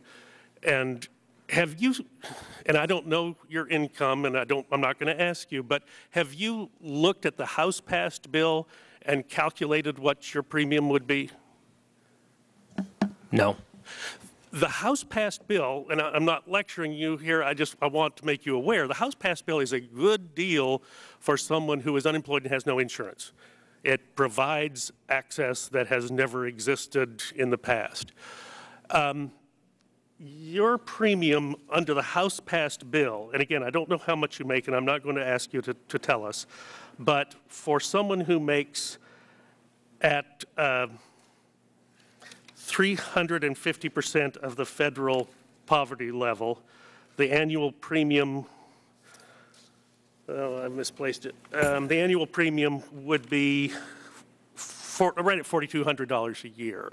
So a little bit more than what you're paying right now. Now, 350% of the federal poverty level is uh, a good salary. I don't know how it works out with California cost of living, but it's uh, just a little under $38,000 a year for a single individual. I don't know whether you're married or not. Now, again, I'm not going to ask you. But just to point out that yes, you've brought up a, a, a, significant point that we need to pay attention to, that your premium has increased significantly under Anthem, and we are going to ask Anthem to justify what, what they have done in the California market. But I do want you to understand, um, with the House passed bill, that not everyone in your situation, depending upon income, someone who earns it for 400% of the federal poverty level, which is $43,000 a year, would be paying $5,400 in annual premium as a single individual in, in, in the government option in the, in the House passed plan. Only two rating bands for younger and older, no tobacco rating. So there, there are some things in the House passed bill that might not improve affordability in your situation. And that's really what we're talking about here because Anthem has affected the affordability of your policy. I'd, I'd give anything to know, Ms. Meister, what you were going to be charged for your bone density. I won't ask you, but I will also suggest that I think your doctor was right to recommend it. And if your doctor recommended it when you were 65 years of age, yes, it would be covered under Medicare, but your doctor would only be paid $40 for the privilege of providing you that service. Again, I don't know what your doctor was proposing to charge you. I suspect it was more than $40, but I don't know that. After you turn 65, under the big public option that we now call Medicare, if your doctor charged you more than $40 for that procedure, if he said, my my cost is $200, and that's what I've got to charge you. expired your doctor would be violating the law to charge you the additional. So there's, you know, there's, we'll give up some things if we go with the House passed bill. That's why it's so important for us to get it right. That's why it's right. so important for us to go through regular order, not let the White House subsume the, the, the duties of the conference Gentleman's committee, time has expired. what has happened now. I told you you'd regret having me here. No, Mike, my time. I've sat in this chair a long time, and I've listened to you forever. And I know you always go over. I know I have to be diligent. I know I have to keep on you.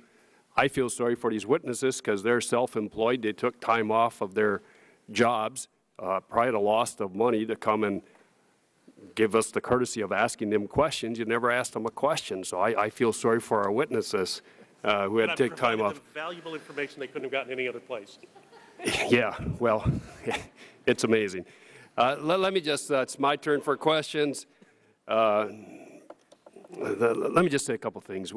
This committee, this subcommittee, the last three years have held hearings on underinsured, on rescissions, on purging of small businesses. And I asked for this hearing because, as I said in my opening, Michigan proposed a 56% rate increase. And I would have liked to have this hearing in LA. We've had hearings in Indiana.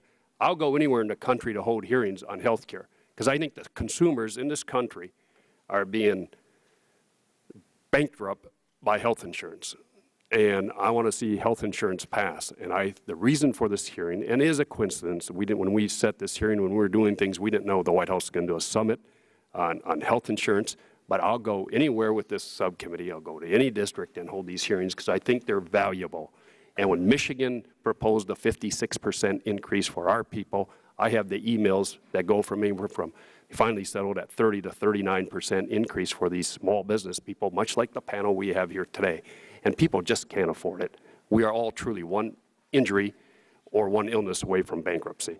But let me ask this question. Yesterday we did a hearing on Toyota, and uh, 10 years ago, if I would have bought a car and I buy one now today, I get all kinds of extra bells and whistles, whether it's a Toyota, a General Motors, wherever it might be. Mr. Arnold, Ms. Hendrickson, Ms. Meister, has your insurance given you more bells and whistles as you've seen these increases? Mr. Arnold, yours went up 74% last two years. Um, Ms. Hendrickson, I see a premiums increase about, uh, by the time you do your premium, your deductible, and your out-of-pocket, that's about $31,000 before you even start tapping into anything. And Ms. Meister, you just trying to keep your drugs that will keep you breathing. Uh, have you seen increases in benefits as these prices have gone up? No, less benefits. Mr. Uh, Yes, also less for me. Last year, in fact, when my rates were raised 26%, uh, Anthem also increased my uh, prescription drug copay for both brand name and generic. Okay. Ms. Hendrickson? No, I haven't. And, and sometimes when I open my statement from them after uh, going to a doctor or something, I'm shocked that like, oh, wow, they, did, they didn't cover that. You know, it's things like that, but I, I haven't calculated exactly any changes. You mentioned your son that had the uh, heart uh, issue there with the Yes. hole in the heart. Is there any length of, ti- your insurance, how long will they continue to hold this as like a pre-existing condition? Like you mentioned, Oh, he's going to turn probably the 22. rest of his life. Okay, so there's no. He will always have um, uh, a heart condition. Um, which is, so thus far required him to see a cardiologist. He doesn't yeah, he's yearly he's problems. He's playing sports and, Yeah, he's he's completely fine. I mean, I, I you know, like I explained, there you there's Right. You can only cinch it so far, Right. and it can't be completely corrected. So he will always have a condition in his heart. Okay. But he can only stay on my insurance till I claim him as a dependent. Well, the other thing in, in looking at this file in uh, WellPoint and Anthem here in California, and we're looking at one of the emails the vice president for individual pricing states. Uh, he says uh, Jim has asked uh, Brian to price five or six downgrade options to be made available in conduction. In, in- excuse me, available in conjunction with the upcoming rate action, meaning this increase they're passing on. In another email, the company's regional vice president and actuarial, Brian Curley, proposes that WellPoint create five or six California look-alike plans, look-alike plans for California with a benefit or two removed to create a downgrade option upon renewal. My question, and I guess I'll direct it to Ms. Meister, how does it make you feel to know that part of Anthem's business plan is to reduce or restrict your health care coverage being offered to you on downgrade options to switch it during your annual renewal? How are you going to be afford your medication? I mean, this is what's been happening the last few years. I've had to go, I've had to downgrade because the price has gotten too high. So I will have to pay for my medications through my savings, through What, what do you think that cost going to be for your brand name drug if you're not, you're going to go to the generic? So, so what will the out-of-pocket cost be? Do you know of these drugs? Uh, Yes, Accolate is $100, and I, and I have to buy that every month. So that's. $100 for a 30-day That's just supply? for the Accolate. Okay. Yeah. All right.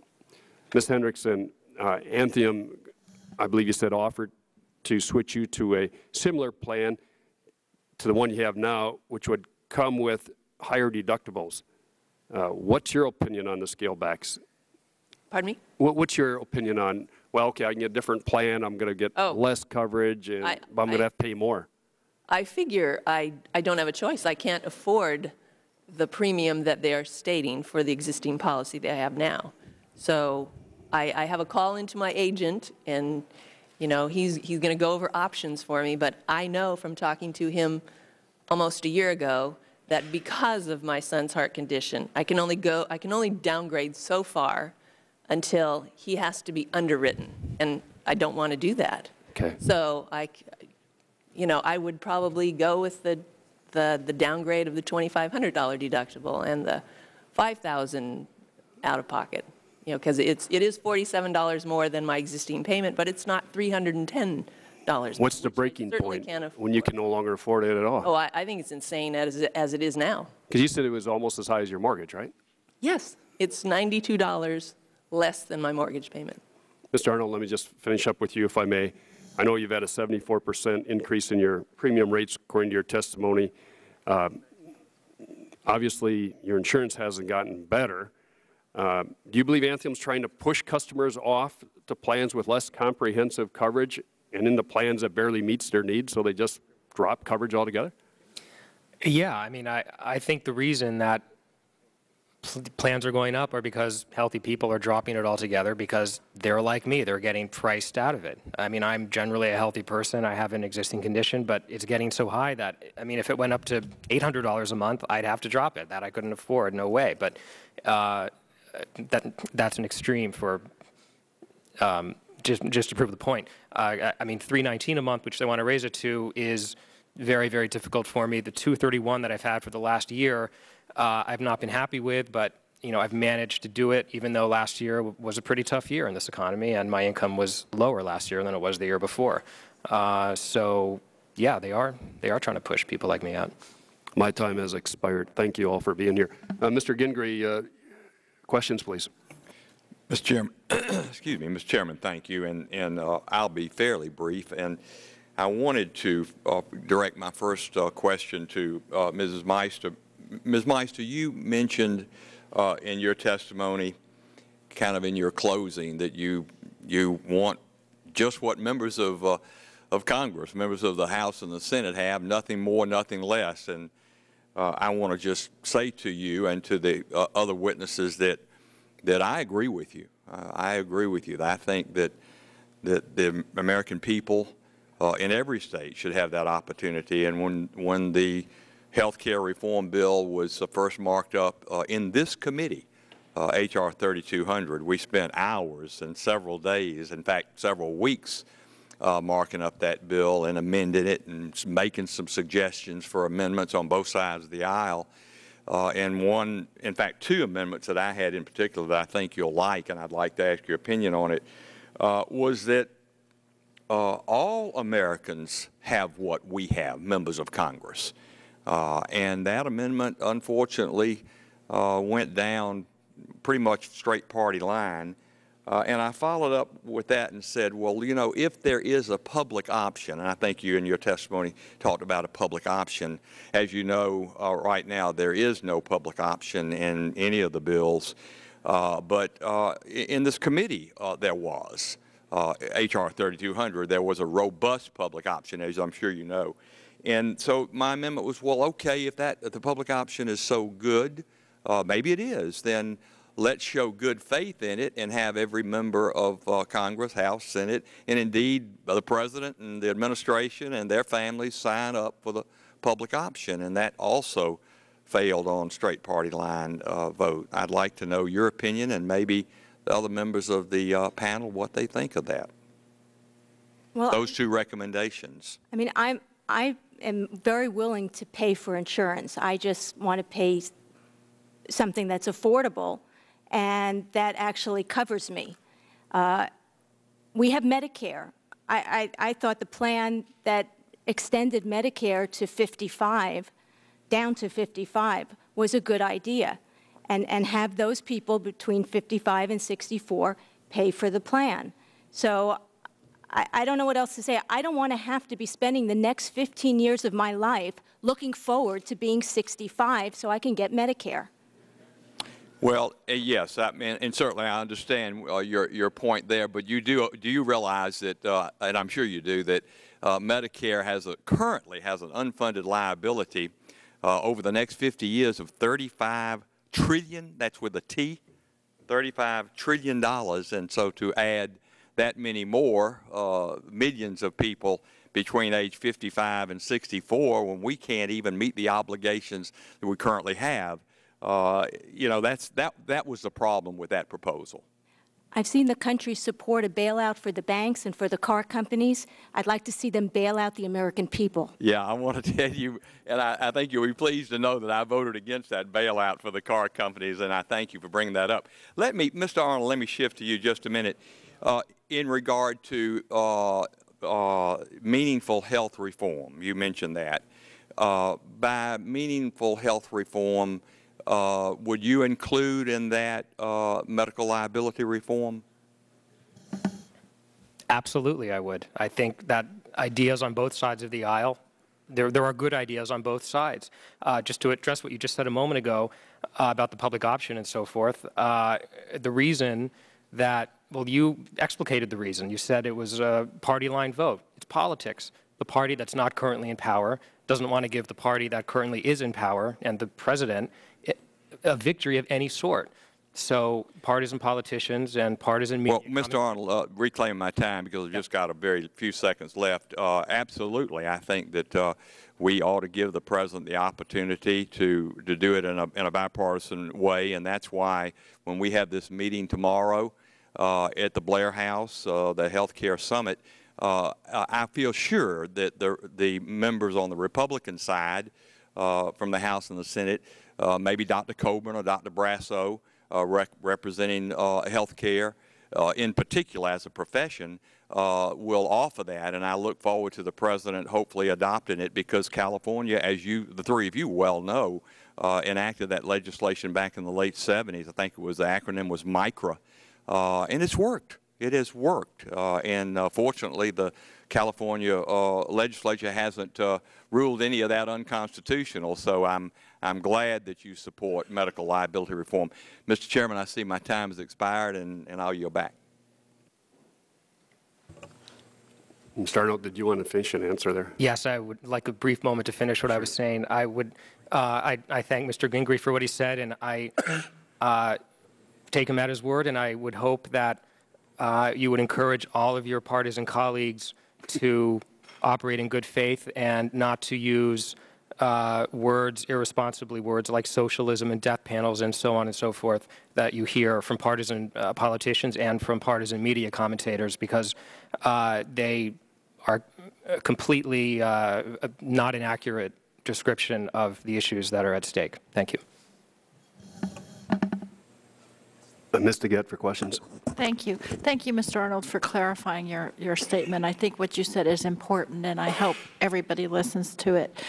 Um, it seems to me, in listening to all three of your testimony, um, aside from the fact that you're buying insurance on the individual market, the other problem that each of you has is either yourselves or family member with a pre-existing condition that pretty much limits you from trying to shop around and buy cheaper insurance. Is that correct, Mr. Arnold?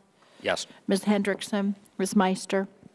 And, and I understand, Ms. Hendrickson, when you were talking, I, I, I, told my staff, I said, I, I feel like this is me because I'm like you. I have two daughters, 20 and 16, and like you, my um, younger daughter has a pre-existing condition which she'll have for her whole life. Not only does that limit, even though I'm, I am in the, in the federal employees insurance system, I'm still limited in shopping around because of underwriting. But what I'm the most terrified about with her is when she go, graduates from college and starts trying to buy insurance on her own, she's going to have an impossible time buying a policy, especially as a young person who's just starting out in the labor market that will cover her pre-existing condition. I'm sure you've thought about that too with your son. Oh, that scares me immensely. And with businesses eliminating all insurance group plans and things like that. I mean, in my industry, hardly anybody has it. There's a lot Yeah. of consultants that I, I don't see how he's going to be able to pay for an individual policy with a pre-existing condition when he's working. Right. Now, here's, here's my, so here's my question for, for all three of you. If you could go on some kind of insurance exchange that allowed anybody to go in and buy from different insurance companies, and the people on that exchange, so you could choose between competition between different insurance companies, and they couldn't exclude you or your kids because of a pre-existing condition. Do you think that would help you with your insurance choices, Mr. Arnold? It sounds like it might, yes. Ms. Hendrickson? Yes, I, I believe that it's free enterprise, I guess, and you, you are allowed the privilege of shopping for almost anything else. Why shouldn't it be insurance, too? Ms. Meister? Yeah, because we're being penalized for being individuals and having individual plans. Right. Um, and, and, you know, Ms. Meister, I, I want to ask you about something because you said you thought it was a good idea if they extended Medicare down to age 55, and, and with every passing year, that, that idea sounds better to me too. But, but were you aware that those proposals didn't just say we're going to pay for people to have Medicare? They'd actually have to buy in. Oh, yeah, absolutely. Right, and I'm you'd be willing to, to buy. you'd be willing to buy into Bet- Yes. Medicare is what you're saying. I just wanted to clarify that. Okay, um, now, I just want to explore one more thing with the three of you because I think there's, there's um, been some miscommunication about, about insurance companies selling insurance across state lines. Were you aware that right now, insurance companies can sell insurance across state lines, but if they do that, they have to comply with the laws of the state where they're selling that? Mr. Arnold, were you aware of that? No, actually, I wasn't. Okay. Ms. Hendrickson? No, I wasn't either. Ms. Meister? No. Okay. Well, see, what, what happens right now, different states like California or Colorado or Iowa or, or Georgia, any of the states, they can sell insurance across state lines, but if they do that, they have to give people the insurance coverage that those states require. So, like if California says you have to cover maternity benefits or you have to ha- cover prostate cancer screening or something else, then they have to do that. Um, but but what the proposal that some from the other side of the aisle have made is to say people could sell insurance across state lines, but they would only have to comply with the laws of the state that, the, that where they're incorporated. It'd be sort of like, you know, how all corporations, not all, but a lot of corporations incorporate in Delaware because those state laws are very favorable to corporations. So they could incorporate in a state which had very low requirements for coverage. And I want to talk to you about that, Ms. Henderson, because you've got two kids. Would it help you to be able to buy a very low cost plan, but one that didn't offer very many coverages for you, like mammography or, for, or some screenings for your kid? Would that help you? I guess I'd have to see specifically what they were What it was, yeah. Um, but like I said, we, we are so lucky to all three of us be healthy. We never go to the doctor. We have very little costs incurred, you know, through insurance. So um, it would, it would be interesting to see, To- to see what I could eliminate and what I would then need. I could pick and choose, I guess. Yeah, you could pick and choose, but, but, but um, you wouldn't want to buy a plan that would barely cover anything if you got No. sick. No. And Ms. Meister, would you want to buy a plan that, that wouldn't cover the specific medications that you needed? I'd have to work it out and see, you know, actually figure out the, the uh, financial side of it and see how much my medications cost me per year and how much I'm being covered. I mean, even now, I have a deductible for the, for the brand. I believe it's $500. Yeah. So until that kicks in, it's, it's, it's four months into the, into the year. Yeah, okay, thank you. Thank you. Uh, Mr. Braley for questions. We'll wait for Mr. Green to get settled there. Thank you, Mr. Chairman. I began my opening remarks by talking about the fact that I'm not a Democrat who limits my conversation to health insurance reform because I believe that health insurance reform is a key part of comprehensive health care reform. And I'm so glad the three of you are here today because you help put a human face on what's wrong with health care and health insurance delivery in this country right now.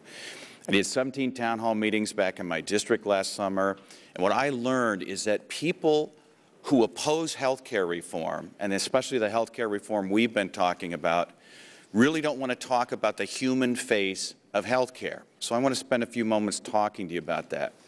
One of the people who came up to me in my last town hall meeting ripped the House health care bill and then said, after the meeting, Congressman, I need your help.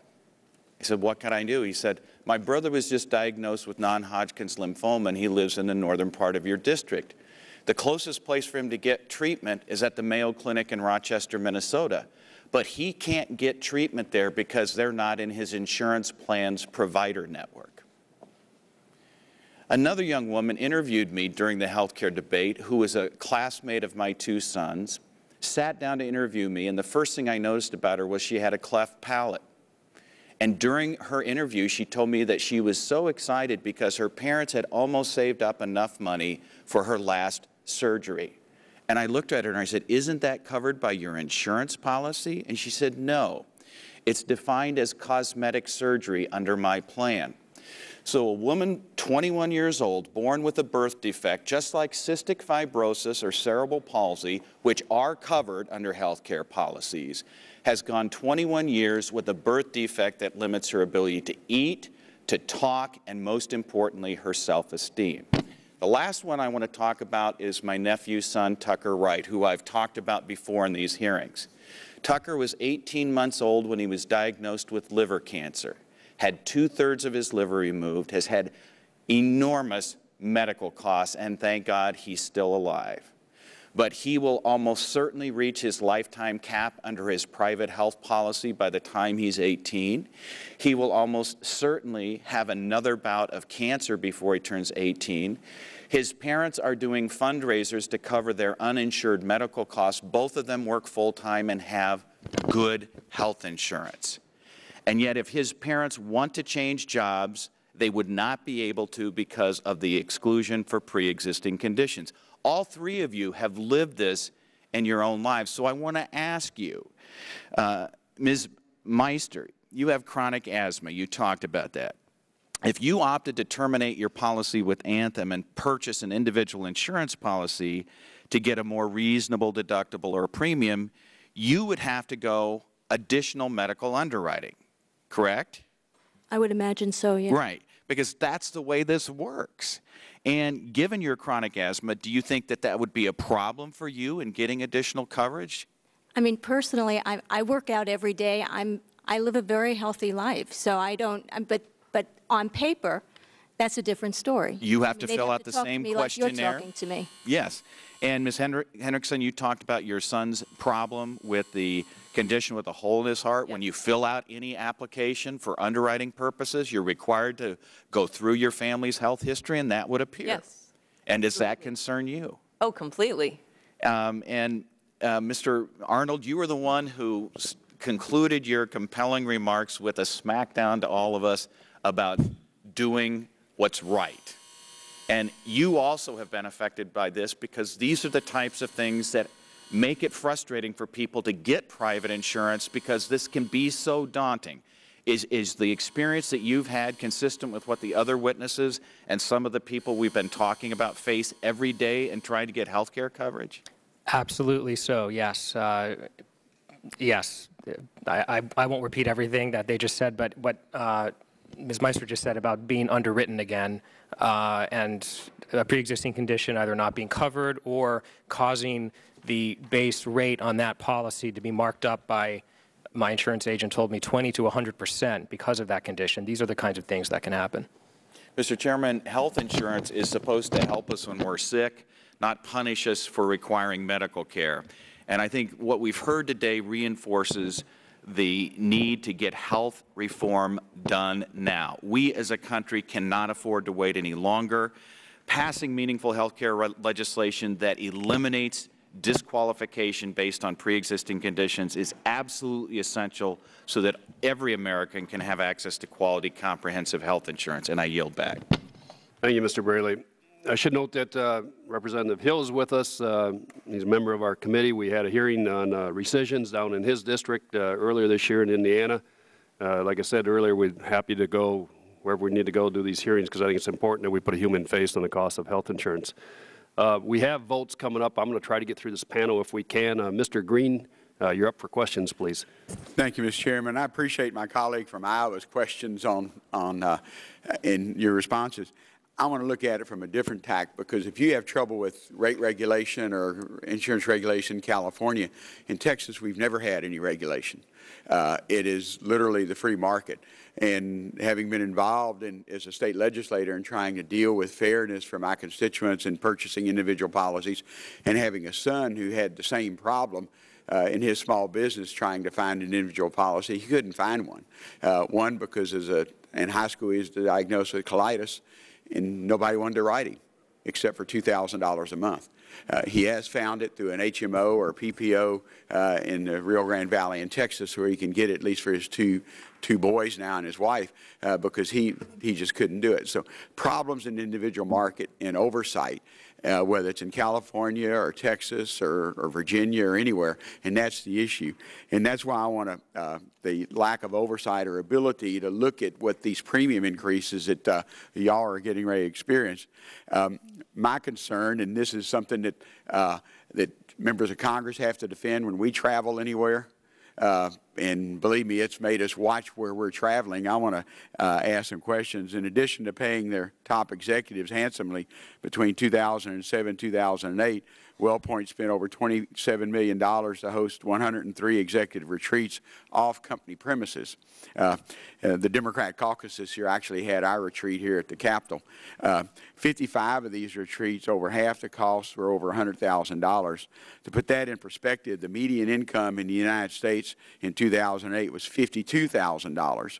Uh, and so you can see that uh, over half the retreats were over 100,000, so that was well over the median income. In 2007, WellPoint spent 3.7 million to host 782 attendees at a broker and agents event at um, the Phoenician, a lavish resort and spa in Arizona for five days. And I'd like to put a picture up of that, uh, of that slide. Later that year, WellPoint sent 154 uh, attendees to the Four Seasons Resort in Mandalay Bay, Hawaii for a four-day broker event that cost the company 850000 That's over 5000 a person, if we could put that slide there. In 2008, during the height of the recession, WellPoint paid over 1.3 million to host 380, 360 attendees at the Four Seasons Hotel in San Diego. And if we could put that uh, slide up there. Uh, Ms. Hendrickson, do you think the company that is struggling to keep up with the rising health care costs would be able to send thousands of employees and agents uh, on lavish retreats such as these? No, definitely not. I'd, I'd like to know what they're doing at these retreats. Mr. Arnold? Of course not. Uh, Ms. Meissner? No. What is your reaction to the images and figures? Because I know what my constituents be if I was at those locations.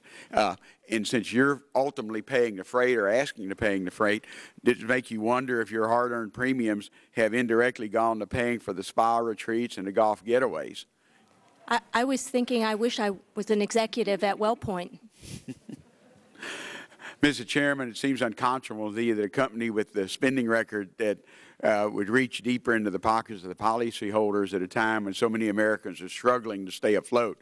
It also seems to me that any company that can afford to send hundreds of their employees to these lavish retreats all over the world can afford to maintain reasonable and affordable premium rates for its customers. And that's what bothers me on the individual market. Uh, we don't see that regulation and oversight on the state level. And that's why maybe on the national level. I know the President Obama earlier this week announced that. There are parts of his bill that I have problems with, or his suggestion. But one of the things I like is if we're going to sell insurance across state lines to individuals, whether they be in Houston, Texas, where I represent, or San Diego, or anywhere else, I would like to see that there is some oversight on what they're doing with that money to justify those premium increases. And thank you, Mr. Chairman. Thank you, Mr. Green.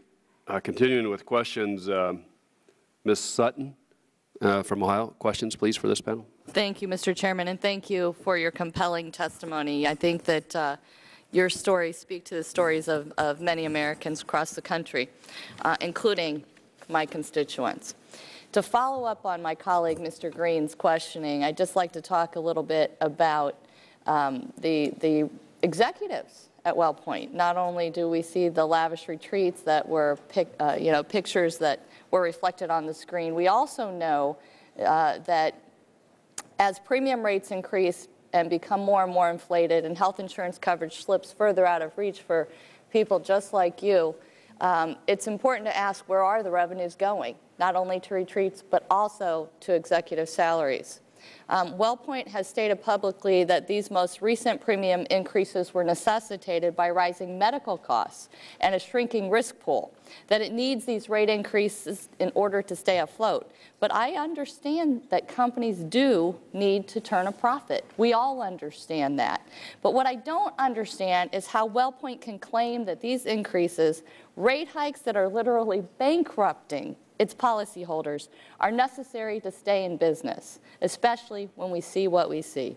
When it is spending millions upon millions of dollars compensating its top executives.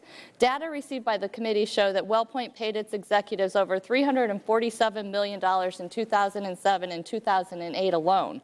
In 2008, WellPoint paid $115 million to 85 senior executives, compensating 39 executives over a million dollars each. That year, one executive made $9 million uh, and two executives made over $4 million. And I guess I'd just like to ask you, uh, our witnesses and policyholders, how you feel about a portion of your premium payments bankrolling multi-million dollar salaries in these tough times. Mr. Uh, Meister, uh, or Ms. Meister, do you believe a company that can afford to pay a single executive nearly $10 million in one year has the right to demand higher premiums from you so that it can, quote, keep up with the market. No, I don't. And I, and I agree with something Ms. Hendrickson said. She said, if I raised my rates like they raised, my, like they raised our rates, I wouldn't have clients. And that's the same in my business. You know, there's, there's reasonable and then there's just outrageous. Thank you. Ms. Hendrickson? Well, well not to be funny, but it, it makes me sick to think that, that all of this money is going to executives in this economy when, when so many people are struggling. And, you know, I do make good money, yet my industry is, is really struggling. There are no new hotels being built. There are no, you know, uh, residential, there's no building going on. So uh, I, I suffer because of that. And Mr. Arnold?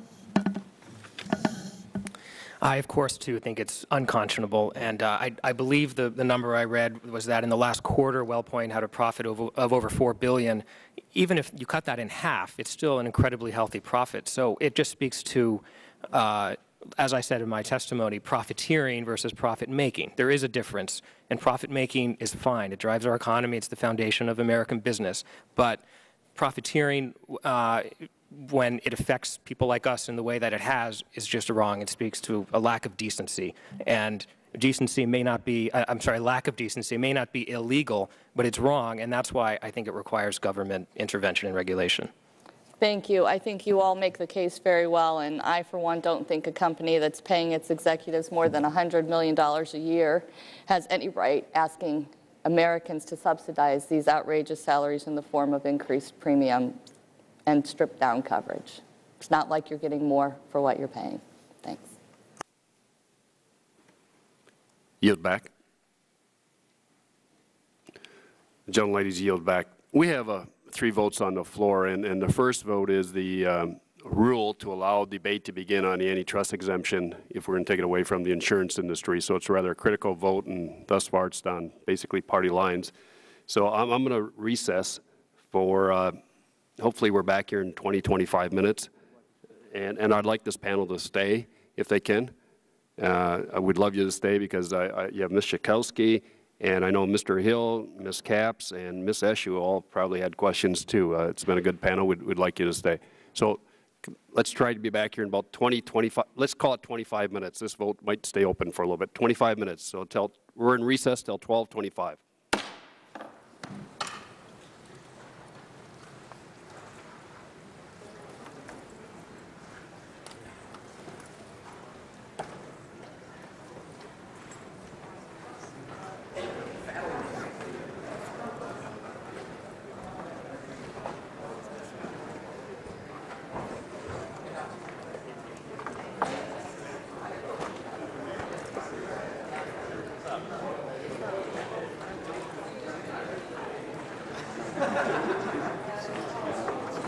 Uh, Thanks for coming back right away, uh, all the members.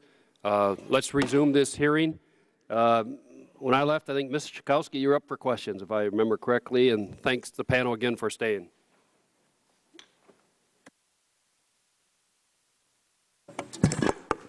Thank you, Mr. Chairman, and thank you, panel. You know, it was, it occurred to me that this panel would only take place of the industrialized nations in the United States of America.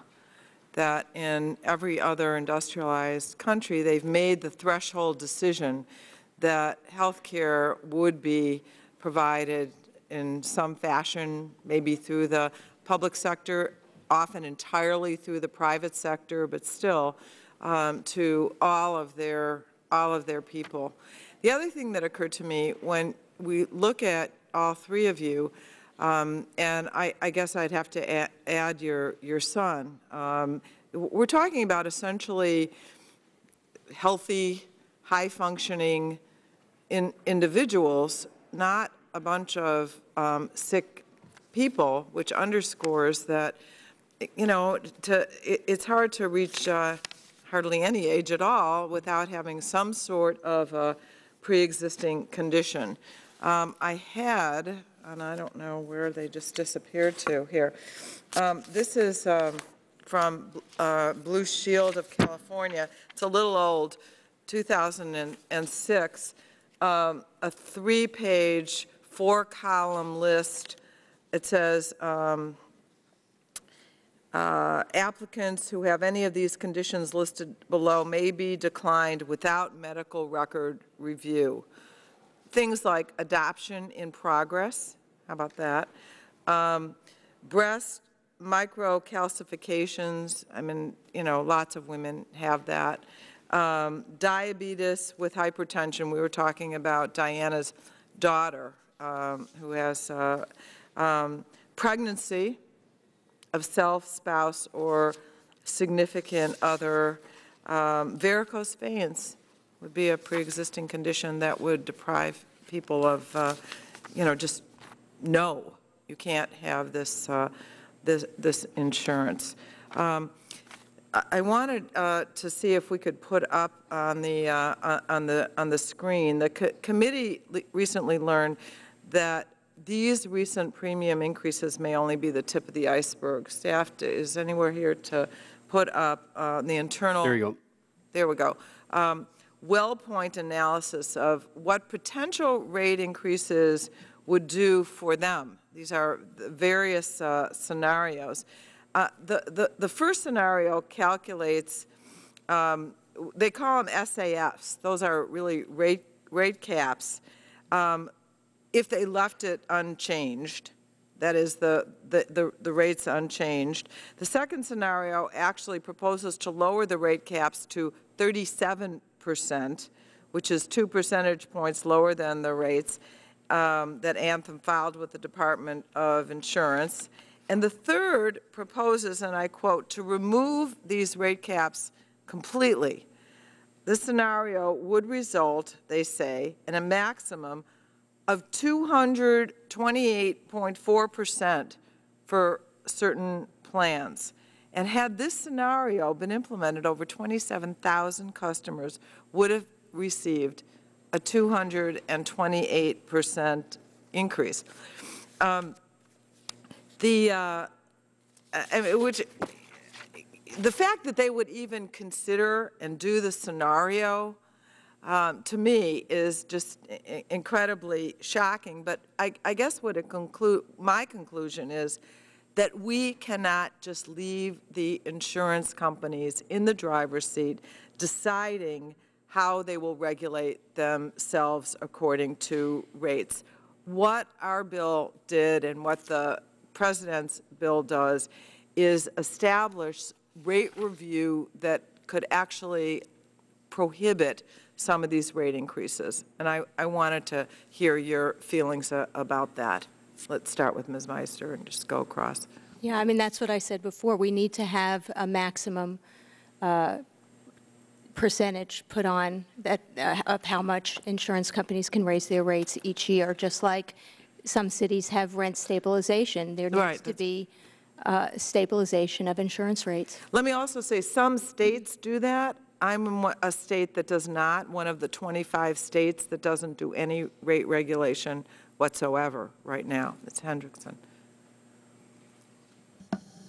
I am all for a national committee that would review rates. Um, I, I feel California has been neglectful in that sense. So um, I, I know it's based on where you live and all that kind of thing, but I believe a national rate regulation would be very beneficial. It would be called a National Health Insurance Rate Commission, I think, is what we're talking about. Yeah, I agree with that too. And I, I would also add that I think if there were uh, rate regulation on insurance companies, that that would also put pressure on medical providers, hospitals and doctors, who we keep hearing uh, are raising their rates so irresponsibly. That would, if that's true, that would force them to change their ways as well. Uh, and just very quickly, um, uh, what you said about unregulated insurance premiums keep rising. It's true. I mean, my rates went up 26% last year, 38% now. Why should I have any reason to believe they won't try and raise them another 40% next year? I mean, it's logical to think that they would. Thank you. Uh, member of the full committee, Ms. Eshoo, you have questions, please, of this panel? And, and thanks for being here. Uh, not a Uh, member of the you, subcommittee, Mr. Chairman. but Thank you. Mr. Chairman, for having this hearing. I appreciate the opportunity to, uh, uh, to participate, and uh, uh, I'm very glad that we have the, uh, the rules that allow members from, uh, from other subcommittees uh, to be able to join you. Uh, This is a uh, very important hearing. I want to thank the witnesses. So many members have said, you really put the human face on this. And um, uh, uh, while my questions are not directly for you, but rather the, uh, the executive, I, I just thought that I would enter for the record. I did write to uh, Ms. Braly, the president and CEO of WellPoint, um, after the news came out about the rate hikes up to 39 percent. Um, but I, I think that it's a, uh, it's a, it's a telling um, thing that uh, Anthem Blue Cross, uh, the unit, in an email as, message, urged their employees to oppose health care reform. And that uh, email is, is reported to have said that reform proposals would, quote, cause tens of millions of Americans to lose their private coverage. And it seems to me that this panel is right on the edge, um, uh, uh, given what the increases were. So um, I, think that more than anything else, you've helped to separate the, um, you know, the political rhetoric that has um, gone across the country and really what the facts are, uh, because this is your life. Yeah, I mean, you're speaking of real life experiences. Uh, I can't think of a better panel to have come in and testified. Um, uh, th this case is not over. Uh, I think that there are, I know that there are many of us that uh, to our last breath will fight for the kinds of reforms that need to take place both in the uh, health insurance industry uh, and health care as well, uh, because this simply cannot be sustained. Not individuals, not families, not uh, local governments, not state governments, not the federal government, and not businesses either. So um, thank you for traveling across the country to testify. I, um, I admire your spirit, and I like the way you um, just keep following up with members and saying it the way it is. That's not often the case with witnesses, so uh, we thank you. And thank you, Mr. Chairman. I'm going to have to leave for my Intel Committee meeting, but I thank you again for your uh, legislative hospitality. Thank you. Thank you. Well, that concludes questions of members of the panel and of the committee. So I want to thank this panel for, for coming. Uh, let me just say one thing. Uh, Mr. Arnold, in, in, in, a question that uh, was put to you, uh, a clarification. I don't want to get into the healthcare debate because I think it's more important we hear from you, not uh, we've had enough healthcare debates. we need to act and, and move legislation along. But there, there were some questions about your premium, what you would pay and what you would pay underneath the House bill as it was passed. Uh, I think Mr. Burgess asked you some questions along that. If those, those numbers he was quoting you for, is from Congressional Budget Office, and that would take place in 2016. They're, they're not, they wouldn't be what your current premium would be. Plus, underneath the House bill, you would have a full plethora of services. There would be not be uh, you wouldn't be denied because of pre-existing injury or illness. Uh, you have preventive care. There, there's a number of benefits there in the House bill that is probably not covered in your current one. So just to clarify the record, uh, that number he has thrown out to be more than your current policy would be in 2016, and we don't know what your policy would be in 2016 from Anthem at the rate we're going. So just a clarification. Again, let me thank this panel. Mr. Chairman, with all due respect. All due respect, I'll let you go for a minute, but I'm not going to let you pontificate for No 10 minutes. No pontification, that Okay. was based on the 2009 figures if the bill had passed last. The chairman is correct because none of the benefits go into effect for four years from the passage of the bill. Um, The taxes, of course, would go into effect on day one. Uh, And also, just a point of clarification, Mr. Arnold, um, you, you made the comment just a moment ago that uh, providers were, were raising rates irresponsibly. Do you have an example for us of, of a provider that you've encountered that's raised rates irresponsibly? I don't, but uh, I think your next witness, Ms. Brawley, will say over and over again how they are raising their A- And I am ready for that. I just needed to know if you had some information that, uh, th- that I needed to be aware of. M- No, I, I don't personally have specific examples of that. Most doctors in my state, and I suspect California is the same way, our prices are set by the insurance companies, which in turn are set by Congress with Medicare rates. And private insurance pays a percentage of what Medicare's maximum allowable fee schedule is, even for those procedures that are not covered under Medicare, like childbirth. So I just wondered if you had some direct experience, because I do intend to question Mrs. Braly about that Gentlemen, extensively. yield to me. Yes. I'd Be happy to yield to the Uh, chairman. Medicare sets rates for the whole country, and it turns out that Medicare could be uh, uh, less than what private insurance pays in any particular area, but the private insurance companies negotiate the rates, presumably, with the doctors and other healthcare providers. They and Medicare are faced with ever-increasing costs in healthcare. That is a fact. It doesn't mean that anybody's doing anything wrong, but the system is costing more and more money. And one of the things we try to do in health reform is not only reform the insurance system, so we don't have people who have to fight on an individual basis to get uh, any opportunity to buy insurance in a, at a fair amount, but we, we try to hold down health care costs overall, and that's important. So I just wanted to raise that point. Thank you.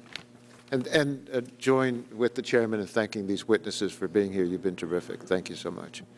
Thank you again. We'll dismiss this panel, and thanks for your testimony.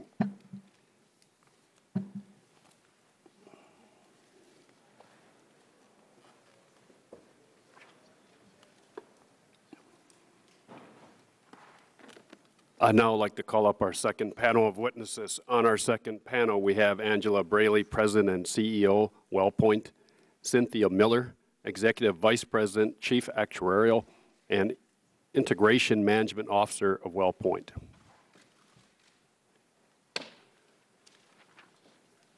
Welcome. It's the policy of this committee. Uh, Signs down, please. Pardon? Be- Before we get going, we're not going to allow signs that while we're trying to conduct this hearing, okay? Yeah, no, no, no, just, just put them away. Just put them away. All right, very good. Thank you.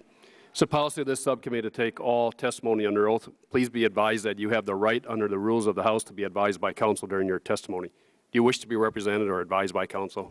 No. Okay. Now I'm going to ask you to please rise, raise your right hand, take the oath. Do you swear or affirm the testimony you're about to give to be the truth, the whole truth, nothing but truth in the matter pending before this committee? Yeah, I do. Let the record reflect that the witnesses replied in the affirmative. You are now under oath. Uh, We have an opening statement. It would be five minutes long. If you would like to submit a longer statement for inclusion in the record, we'll be happy to submit it. Uh, We do have your testimony, but Ms. Braly, if you don't mind, we'll start with you. Yes. Okay, just pull that up. There we go. Great. Okay. Thank you, Mr. Chairman and members of the subcommittee, for this opportunity to discuss rising healthcare costs and the need for sustainable healthcare reform. This is a very important week for all Americans, and I'm sure you join me in hoping that tomorrow's Health Summit will be the beginning of a truly constructive, positive process in which every American can have confidence. I'm especially pleased to have been invited to speak with you because I understand the burden that rising health care costs put on families. Because of our role in health care, it is often insurers who have to deliver the bad news regarding spiraling health care costs.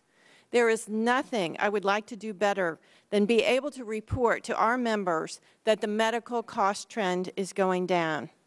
That's why I appreciate the opportunity to explain why health care costs are rising not only in California, but across the country.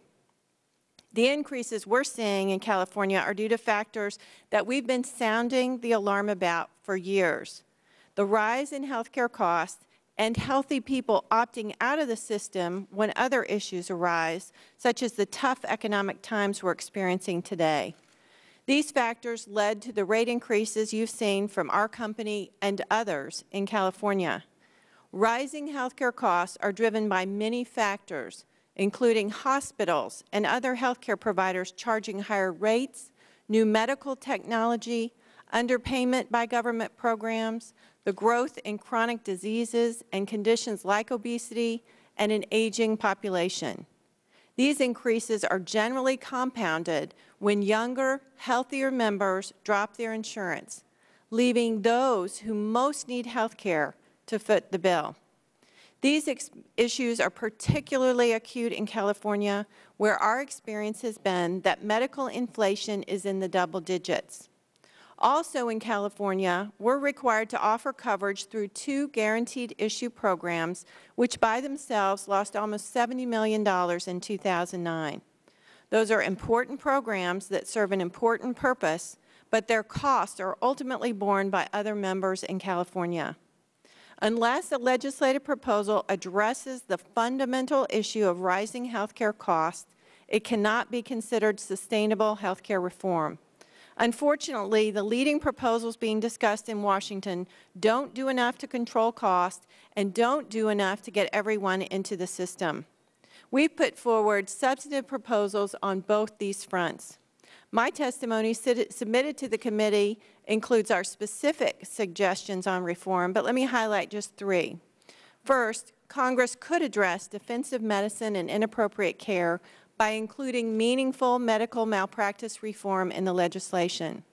Second, Congress could also require that the principles of evidence-based medicine be used to guide how payments are made.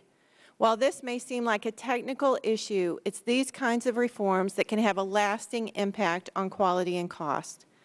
Third, in reforming the health insurance market, Congress must enact policies that ensure a broad and stable risk pool as they impose other requirements on the marketplace. We know that every facet of the healthcare systems, hospitals, clinicians, manufacturers, drug companies, payers, and we as Americans contributes to the growth in healthcare costs and all need to be called upon to reduce these costs. Out of every dollar the nation spends on health care, less than one penny goes to health plan profits. Isn't it time to ask, what are we going to do about the other 99 cents?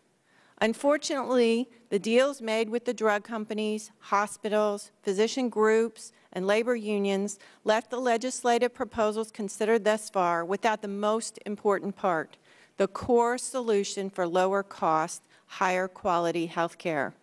Rising health care costs frustrate all of us. It's a serious problem facing the country that deserves not only a serious discussion, but meaningful action. WellPoint is eager to continue to participate in both. While it may be tempting to shift the blame to insurers for rising health care costs, to do so would be the triumph of sound bites over substance. Insurers are among the least profitable part of the healthcare system and the part that helps the most in making a meaningful reduction in healthcare costs. Insurance industry margins are dwarfed by the margins of others in healthcare. Real reform needs to focus on the areas where systematic savings could be realized. The elephant in the room is the growth of healthcare spending. Despite the attention we've garnered in this debate, we're the tail on the elephant, and we need to address the elephant. Thank you for the opportunity to be here today. This is a criti critical time for our country and for the health care debate, and I look forward to discussing with you ways in which we can work together to control rising health care costs. Thank you, Ms. Braly. Ms. Miller? I have no prepared. Oh, you're not going to do no, okay. Well, let me ask this question. Let me ask about uh, WellPoint's motivations in increasing premiums. I've sort of mentioned it, and others have mentioned it. WellPoint's executives, and, and in a way, Ms. Braly, you have too, asserted that profits were not a motivating factor in raising the premiums in California. In written testimony, uh, you indicated that you were disappointed that the critics uh, cited profits as a primary reason that companies were increasing the cost of premiums. So, so let me ask you this.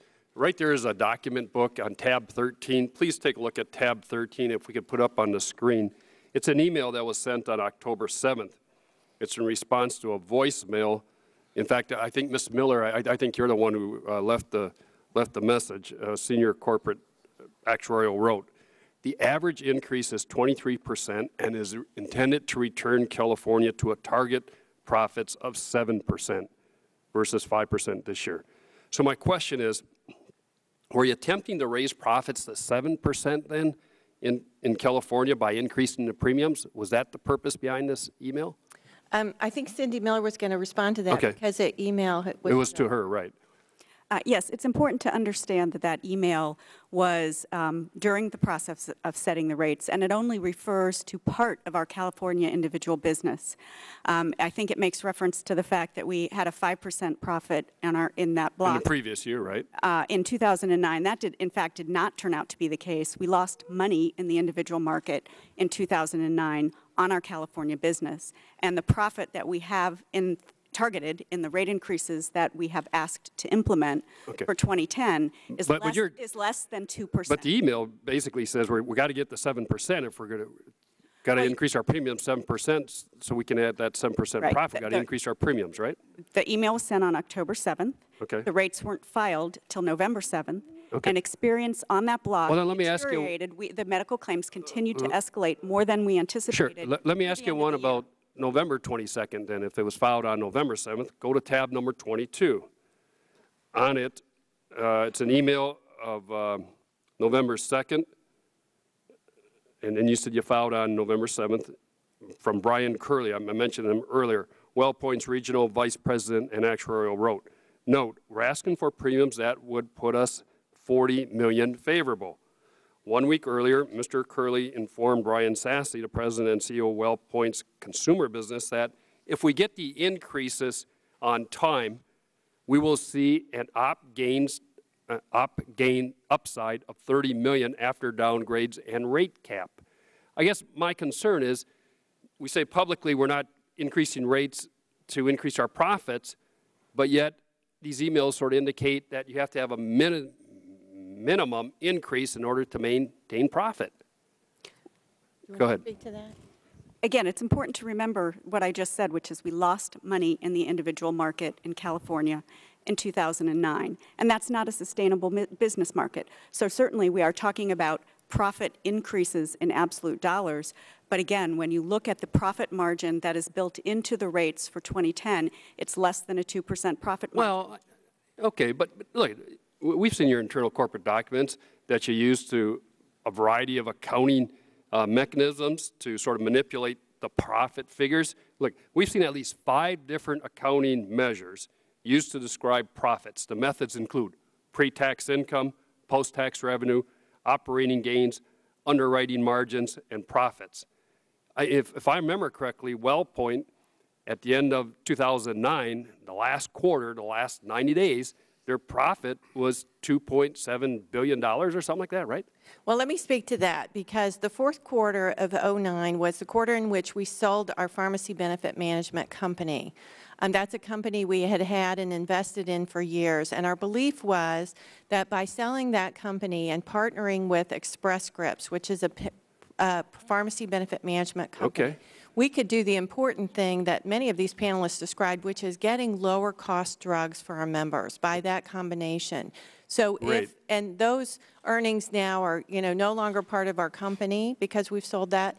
And so when you look at our total earnings for 2009 as, at, and look at our net margin, which is an appropriate measure to look Sure. against other elements, we were um, at 4.8%. That was our margin. That was your margin. Was that equal in real dollars in 2009?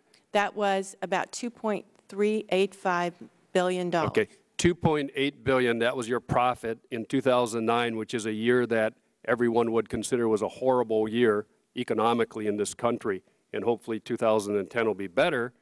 But what I'm concerned about is our hardworking Americans are asking to, to increase their premiums to the wealth of WellPoint's investors. I mean, look at yesterday, you had the hearing yesterday in California, right, on the rate increase, and uh, Anthem President, President Margolin, is that the way you say that, uh, defended the profit margin during a hearing, and he's saying it should be about 2.5 to 5 percent is a figure that he said would be acceptable. In fact, he said, we have no interest in profit beyond the range I've described to you, 2.5 to 5 percent is reasonable, and they're appropriate profits.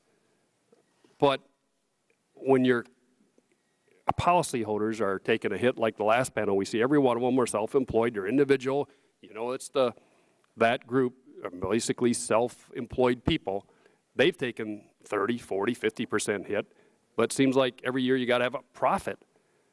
I- I- know- Is it reasonable to expect every year companies are going to have profits and we got to have at least 2.55? I mean, it'd be It- great is- if it- we could guarantee every business to have 2.5 to 5% profit, and heck, you're at 7% or more. You know, actually, over the five-year period, our profit margin has declined. We continue to get more efficient as a company and as a business, and we are working hard to uh, reduce healthcare costs and improve access to high-quality, affordable healthcare. So it is, it is important as, is- to be a business that's sustained, that we have an appropriate profit, and we think a 4.8% margin on a relative basis is very efficient. Um, and when you look at that compared to others in the healthcare system, you know, biotech companies are 23% profits, pharmaceutical companies are in the 20% profits. Um, we have a, a chart in our written testimony describing that even community-based hospital margins are in the 6.9% profit margin. So we are part of the healthcare system that is driving to get to more affordable healthcare for all our members. The only way we're going to get more affordable is to knock off these profits that uh, are being paid for by the average American. I, I mean, I, I, I don't mind you making a profit, but at the end of the year, 2009, a horrible year, you still made two point something billion dollars, and that's not enough. And we serve Uh, 34 million Americans across the country, and we feel that it is appropriate for our business to be sustained so that we can be there for those members uh, when they incur those healthcare costs. We want to be solvent as an organization and be able to continue to invest in ways in which we can get to a more affordable, uh, higher quality healthcare equation. Sure, and I don't mean to inject a healthcare debate and this whole deal, but that's why so many of us believe in the public option. You're, you're, you're, you're killing the average consumer. They can't afford it anymore. We got to put an option up there. Today, we're doing the antitrust exemption. Hopefully, that helps. My time is way over. Mr. Burgess, please, for questions. Thank you. I appreciate you all being here today. I appreciate having an actual actuary here at the table. It's a shame we don't have the state actuary, and you all could compare notes, because I presume you prepared some actuarial findings and presented those to the State Board of Insurance. Is that correct? Yes, my team uh, does, by law, is required to do rate filings, which, in which we certify that the rates meet the law and are reasonable. In addition, we had an independent outside actuarial firm, uh, Milliman, probably the most respected firm in the country, also verify that they thought our When- rates were reasonable and appropriate and met the law. And those went to state regulators? Yes. When was that? Uh, Our filing was on November 7th. The, uh, the regulators review, or sorry, the independent actuary reviewed the, uh, the filing in mid-November and issued a letter on December 15th that they believed our rates were appropriate. Is it possible for you to provide this committee with a copy of that letter? Do we have that in our evidence binder somewhere? Um, You- I I believe so. We, we, we could get a copy of that letter, we already have it? We we may, we may already have it. It's not in the evidence binder. Okay. And then what was the response of the state regulators to the actuarial information they were provided? That this is outrageous? How dare you? Um, By law, the, the The state is supposed to respond within 30 days to the filing. Uh, we heard nothing from the state until actually Christmas Eve. And on Christmas Eve, we got a, a, question, several questions from the actuary about one of the products, our SmartSense product, and the filing for that. We responded to those questions, and then we heard nothing else from the Department of Insurance until uh, the news broke uh, of the rate increases in the LA Times. I see. Um, you know, you had to know this was going to be trouble. I mean, a 39% rate increase in, in, in this climate. You, you, know, you know what we've been doing up here the last year? You yes. know what's happening down the White House yes. tomorrow? You yes. knew this was going to be trouble. Yes. You did the, the report on Christmas Eve. You know what else happened on Christmas Eve? They passed a bill in the Senate. Um, so you knew the landscape into which you were entering, correct? Correct. Did you make a judgment as to whether or not this was the best time to do this?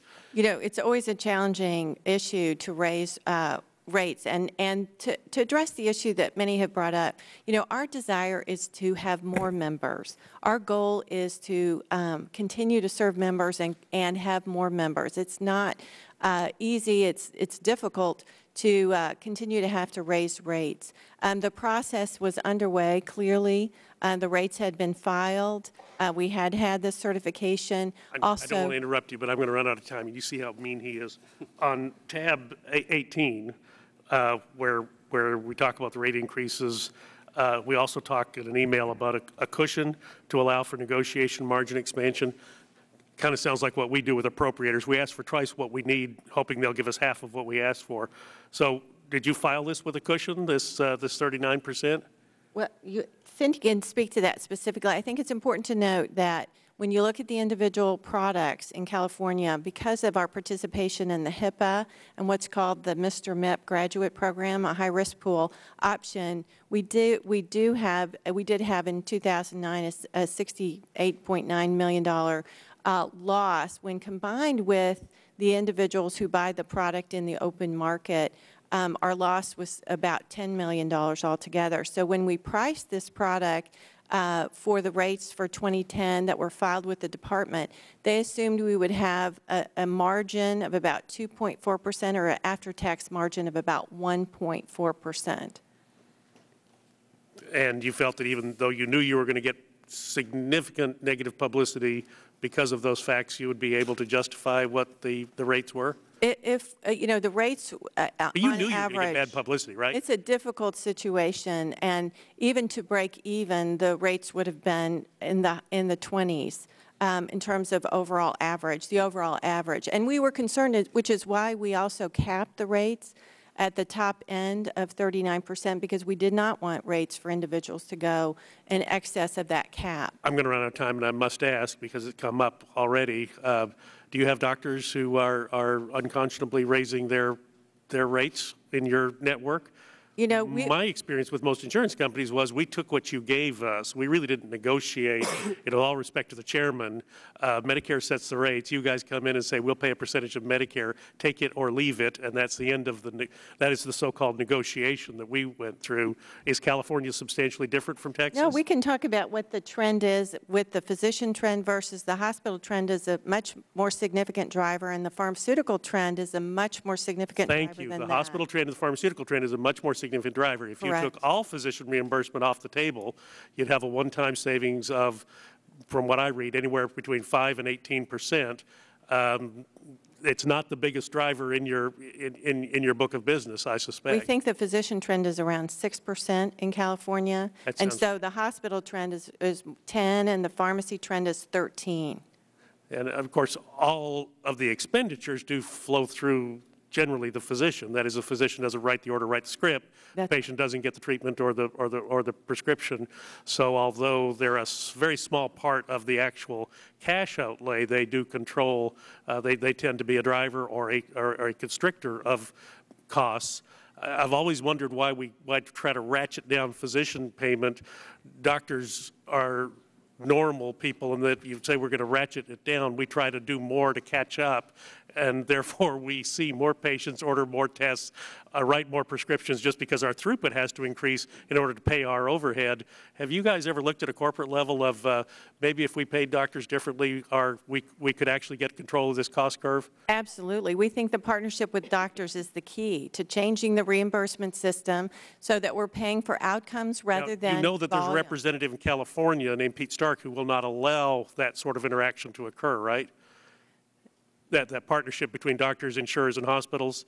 I think that's an important part of, of uh, the future of the reimbursement system, to partner with doctors, to look at different ways to reimburse. But we uh, can't. for Under care. Stark laws, we, we'll all go to jail. So that's off the table. Is there any other way we could do that?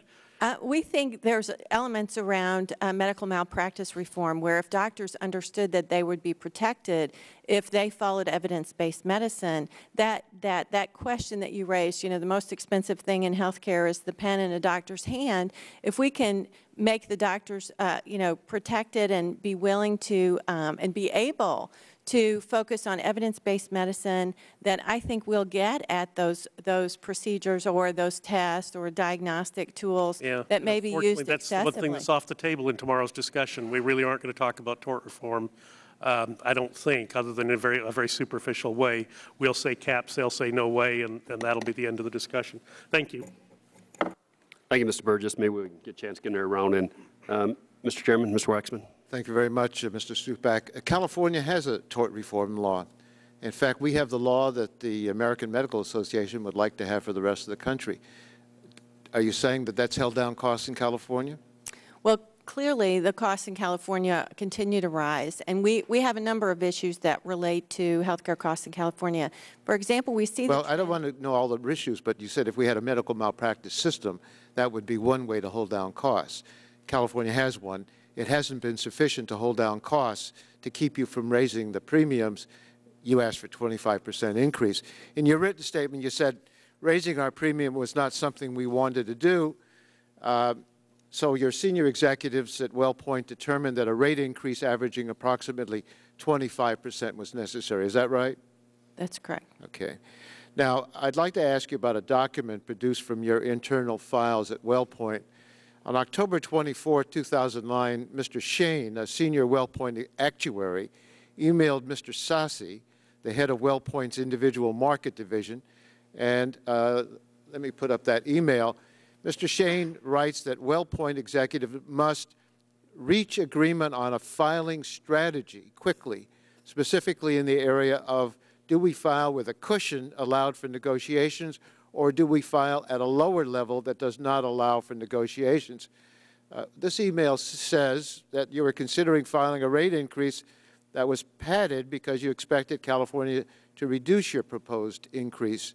Is that an accurate uh, conclusion to reach? I don't believe so. Cindy um, described these emails. Earlier in the process, there was a question of what the medical trend would be. Um, What we filed uh, did have a, uh, a margin of 2.4% on an operating margin basis, or 1.4%. Um, And it reflected the trend that we were experiencing in California. So it was not, there was not a cushion in the rate that was well, filed. it's hard to understand these words differently because the words say a cushion allowed for negotiation. You decided you needed 25 percent, but it sounds like you were willing to go to 20 percent. There was a presentation prepared for your board of directors. Uh, the pre presentation outlined WellPoint's strategic plan for individual line of business for 2010. And let me put that slide up on the, on the, on the board. This slide is titled Key Assumption, Individual Pricing. It distinguishes between your rate ask and the actual rate increase you're assuming for 2010. And according to this slide, the 20-ton rate ask is listed as 25% to 26%, but the assumed 2010 rate increase is just 20%. This seems to say that you were asking for a 25% increase, but expected to see that lower to 20% through negotiations. That sounds like padding. How do you, how do you respond? Can you respond? Um, I'll, I'll respond to that since my team is responsible for the rate filings. Uh, it, it's, it's important to note that this was prepared before the rate filing, before the rates were finalized.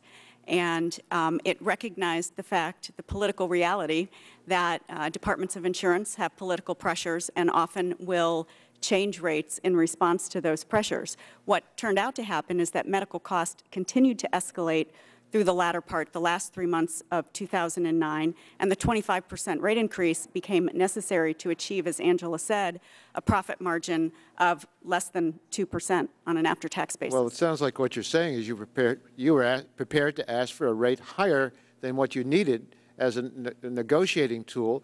You could have anticipated rates were going to go up, but you had to make a decision that you wanted an average increase of 25 percent, but you were really looking at an average increase of 20 percent.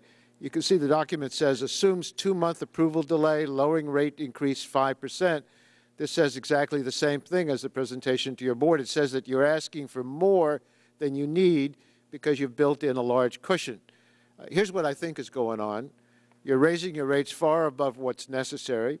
You're trying to squeeze every dollar of profit you can out of policyholders in California and across the nation. And at a time when families are, across the nation are struggling to pay their bills, you're trying to charge them inflated rates that pad your profits and support the salaries and the trips and the retreats and everything else. Mr. Chairman, we um, have described that in 2009 in the individual business in California, our, our prices were not adequate um, to cover the losses, for example, in the guarantee issue part of the pro products that are uh, required to be covered, and we had a, a loss. And our pricing that was filed and certified by, uh, you know, reviewed and, and uh, evaluated by other uh, actuaries uh, confirmed that the price. Other actuaries, meaning the state actuaries? Uh, Milliman came in specifically at our request to evaluate. you indicated you're trying to be more efficient to hold down these costs. Is, is the biggest efficiency that you produce trying to shift people onto plans where they have to come up with more money out of pocket so you don't have to pay that amount? No, no, in fact, we could be making less money when those members shift to products that have uh, less benefits. Our goal is to make sure that we have product offerings for Well, we heard three witnesses this morning, as you did you. You were sitting here. All three of them seemed reasonably healthy, but all three of them were told they were going to get a 39% increase, not the average of 20 or 25, 39% increase, but they were in luck. They could get a plan that would cost less. They just have to pay more out of pocket for their drugs because you wouldn't cover the brand name drugs, or they'd have to come up with greater, higher deductibles. Is that efficient? What, what we Is that an efficiency? Is, is we try to make sure that the customer can get access to a product that they want and afford and provides them the benefits they need. So for example, last Well, they'd like to have what they, they've been paying for and not have the kind of increases every year that they've been seeing. And, and as reflected, as the pool uh, of, of insured changes, because sometimes healthy uh, younger individuals leave, and we have people that stay in the pool that are more expensive, the cost overall of the pool continues to go up. So That's a you- critical You would argue that we need a pool that includes everybody. Is that right? Correct. That And therefore, if you're pooling people together, uh, then you don't need these individual risk analysis because you're spreading the costs. Is that what you're telling that us? we are an advocate for reform that would include the elimination of pre-existing conditions, provided that there is a mechanism to keep everyone in the pool so that Well, we that's what don't the- have this phenomenon. That's what the bill does, that, uh, that passed the House. That's what the bill does at the Senate. That's what the President's been calling for. Let's get everybody insured, and let's uh, put them in a pool, and then you spread the risk.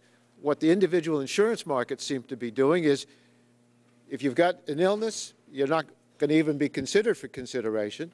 If you're in the plan and you've got some illnesses, uh, we're not going to drop you, but we're going to shift you to another plan where you pay more money out of pocket. And you're individualizing insurance uh, so that n- the individual has no leverage. They Well, have to pay what you ask or drop down to something else. The actuarial analysis is not based on an individual's health status. It's based on who's in the pool. But to your point about the health care reform, I think it is important. The concept and the goal was to eliminate pre-existing and get everyone in the pool. But what happened in both of the bills that we've seen is that the, the effectiveness of keeping someone in the pool really fell apart towards the, as the legislation was moving forward. And the great concern is you wouldn't keep everyone in the pool because you don't have the right mechanisms in place to keep them in the pool and they would opt out. What would you do? Uh, Our To concern, we would, we would make sure that there was a continuous coverage requirement. So if, if in there's somebody, Massachusetts, somebody says, I don't want insurance, what would you do?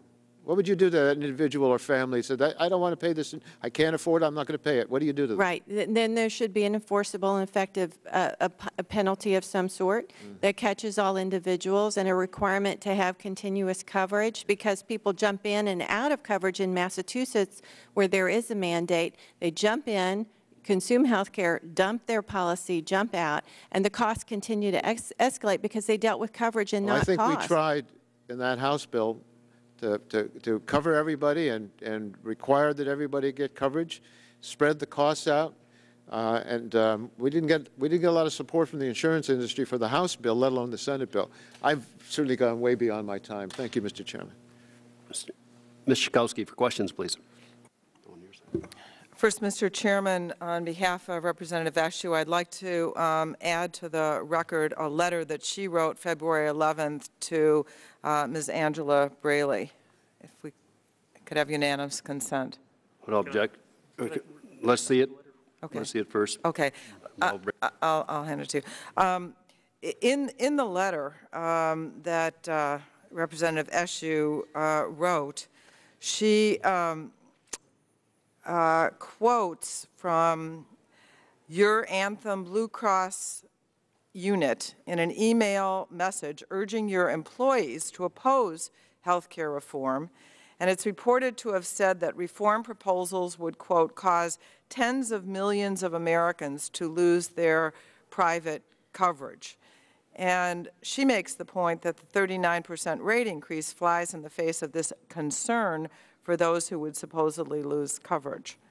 Wonder if you could respond to that. I- I'd be happy to. Our, we are very concerned with the legislation that was being proposed because we did, didn't feel like it addressed that concept of addressing getting everyone in the pool. And as a result, that with, combined with some other changes that were proposed, including changing the age rating, um, that the, our analysis, our actuarial analysis, which we shared publicly and have available What is on is our the age rating you use?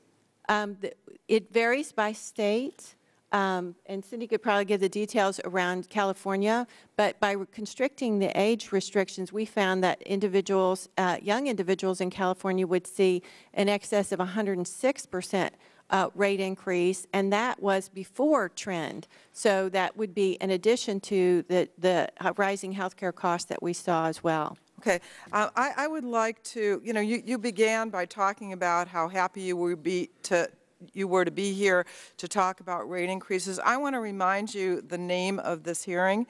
It's uh, Premium Increases by Anthem Blue Cross in the Individual Health Insurance Market.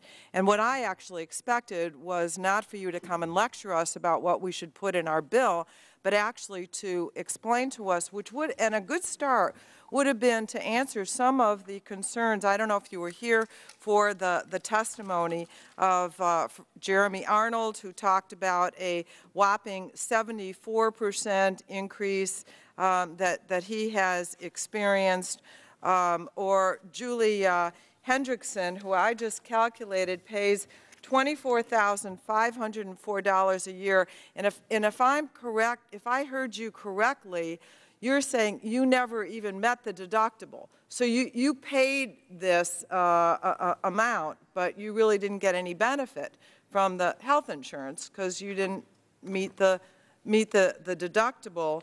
Or uh, respond, uh, and it would be nice if you would because she wrote you letters um, talking about how uh, she realized that for months she had been paying for a costly, unnecessary benefit, switched plans, and finally did get a letter that her uh, premiums were going to be raised 38 percent. Although she could change to a less, lesser coverage and pay only 16 percent. Isn't that, isn't that fabulous? Um, I, I, just, uh, I, I do have a couple of, of questions, but I, I want to tell you something. That I, I think that a 39% rate increase at a time when people, Americans, are losing their jobs, losing their health care, is so incredibly audacious, so irresponsible. I, you know, we, we see these uh, lavish retreat places. Um, I'd be interested to know what your salary is as the, the, the CEO. Incredible CEO salaries. Uh, I don't know how many people it was said that make over a million dollars a year at, uh, at, at your, your company. What? How much money do you make? Um, my salary is 1.1 million. I was I received stock compensation uh, with a value of 8.5 million, and last year a, an annual incentive payment of $73,000. Well, of course, it makes sense then that you would need a, a, a big rate increase um, now that you've told us that. Um, I, I want to know in uh, yours, uh, I know that um, it- you said in your written testimony that Anthem Blue Cross profit margin is in line with and below that of many of your competitors. Ha- Can you name any California competitors who have raised their rates up to 39 percent? Yes, we believe that a number of our competitors have raised rates. In fact, in the individual market, there are products that are available. Uh, our products are, are competitively priced and in many cases lower priced than many of our competitors, both for-profit and not-for-profit They got, carriers. they got approved by the commission for more than that are 39 outstanding and available now, the, the rates, we're a very efficient company on a relative basis, and our administrative costs continue to go down, and so we do have very competitive rates in the marketplace. Many times, they're, they're less expensive than other products that are current, currently available. And there is, there are a number of competitors in California, and our rates are quite competitive in the marketplace. If I could address your earlier No, question. I have another question. Um, Has uh, the, has your company met the legal requirement to use 70 percent of premiums collected in the individual market for the payment of medical claims? Yes, we, we have submitted those filings and, and believe they are compliant with the requirement. You have to keep in mind that product is the product sold in the commercial market, that the, the losses that are incurred in the HIPAA and the MRMIP graduate program are born in that marketplace as well. So in the end, the individual marketplace uh, lost money in 2009 and would produce an after-tax return of 1.4 percent So when you figure your profits, you don't figure it across the company. You look just at the uh, profits made or lost in the individual market. Yeah, and there's some very important reasons actuarially to make sure you price the products for the costs that are being incurred in those pro- products. Cindy, you might talk about the potential. No, I don't want to hear about that. adverse. I, I don't, I don't want to hear, I mean, because it seems to me that when you have a company that's providing um, not widgets um, and not some luxury item, but health care, that it might make sense to look across the whole company to see what kind of profits, because people who are uh, uh, in the individual market are often least able to be able to come up with these very high rates. What would you think about an 80 or 85 percent medical loss ratio? You know, it, our, our medical loss ratio as an enterprise is 82.6 for 2009. And you know, one thing that's really important about the individual market, we, in some states where there has been regulation that really tries to restrict the ability to raise rates, all the com- competition has left. We're Blue Cross Blue Shield. If you look at Maine, in 1993, there were 11 carriers in Maine offering products in the individual market. Now there is us and another company that's not a major national competitor because we're Blue Cross and we have geography uh, licensure and we don't want to leave the individual market. And so we need to make sure that it's a viable marketplace for our customers so we can continue to cover their costs. So as they incur healthcare costs, we're there to provide and pay for those costs. I yield back. Nothing to yield. Um, Let me go to Mr. Welch of uh, Vermont for Uh, questions. Thank, uh, thank you very much, uh, Mr. Chairman. Ms. Braly, on our last uh, panel, we did hear from some Anthem policyholders uh, who've had very high rate increases. Two of the policyholders had rate premiums that were being raised 38 percent. Uh, The third had a rate notification increase of 30 percent. Uh, All of those were markedly higher than the average increase at WellPoint uh, has reported publicly. And the current rate increases uh, put the policyholder in a tough position. They can drop insurance altogether or try to get a much less comprehensive policy. Uh, And I'd like to show you and Ms. Miller uh, a document that suggests that these rate increases, in fact, could be much higher in the future. Uh, you can find this chart at tab 7 of the document binder. A binder. And this is, as you know, a WellPoint uh, internal analysis of the potential rate increases, which was included as part of the individual leadership pricing memo, a document providing recommendations and analyses about the individual market in California. And I'd like to put this document on the screen. Uh, we, do we have that document up? Okay, thank you. Uh, Ms. Miller, as uh, WellPoint's chief actuary, I, I want to make certain I understand the three scenarios proposed by WellPoint officials in this document. Uh, scenario one, I don't think this is on the screen, appears to propose that WellPoint make no change in SAFs or rate increase caps, right? That's correct. And then scenario two appears to propose a reduction in the rate caps by 2% after accounting for age. So am I reading that correctly?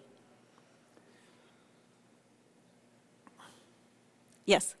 And then scenario three, which is the focus of attention here, uh, that's the chart that caught my attention. It appears to consider that the possibility of removing rate increase caps altogether. And the document states, and I quote, remove SAFs completely. And then below that header uh, is a chart that shows that if WellPoint, in fact, implemented this program, taking away the rate caps, removing them entirely for certain plans, over 27,000 policyholders would be subject to a 228.4 percent increase uh, in their monthly premiums. Is that right? Uh, I, I don't see the number of policyholders that you're referencing on the one that's in our book, but I do see the 228 percent. Okay, so if we took the caps off under your internal analysis, if I were a WellPoint policyholder uh, subject to this situation, I could be receiving a 228 percent increase in my premium cost, right? Yes, I, I, would like to point out that these are labeled scenarios, not proposals. When we do our actuarial work, you start by looking at the rate increases that are necessary for each but cell. The, the so scenario, this would have been the starting point. Right. And it, it was, it's meant to illustrate that if we didn't cap, these would be the increases. We did, in fact, cap the rates. This was not a proposal. It was right. just in order to illustrate you know, how dramatic some of the increases would no, be and, if and I, I get cap. that. You're saying that if you had caps off, uh, by your analysis, you might actually, in order to maintain, using Ms. Braly's uh, language, a viable marketplace, would require you to raise my premium to two, by 228 percent. That's where we're headed. I mean, this is the problem. That's, that's where we're headed.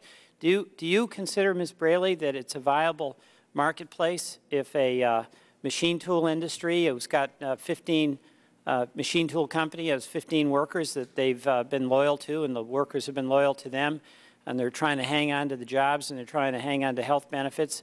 Uh, they get a notice in the mail saying that they're going to get a 228 percent premium increase. Is that sustainable?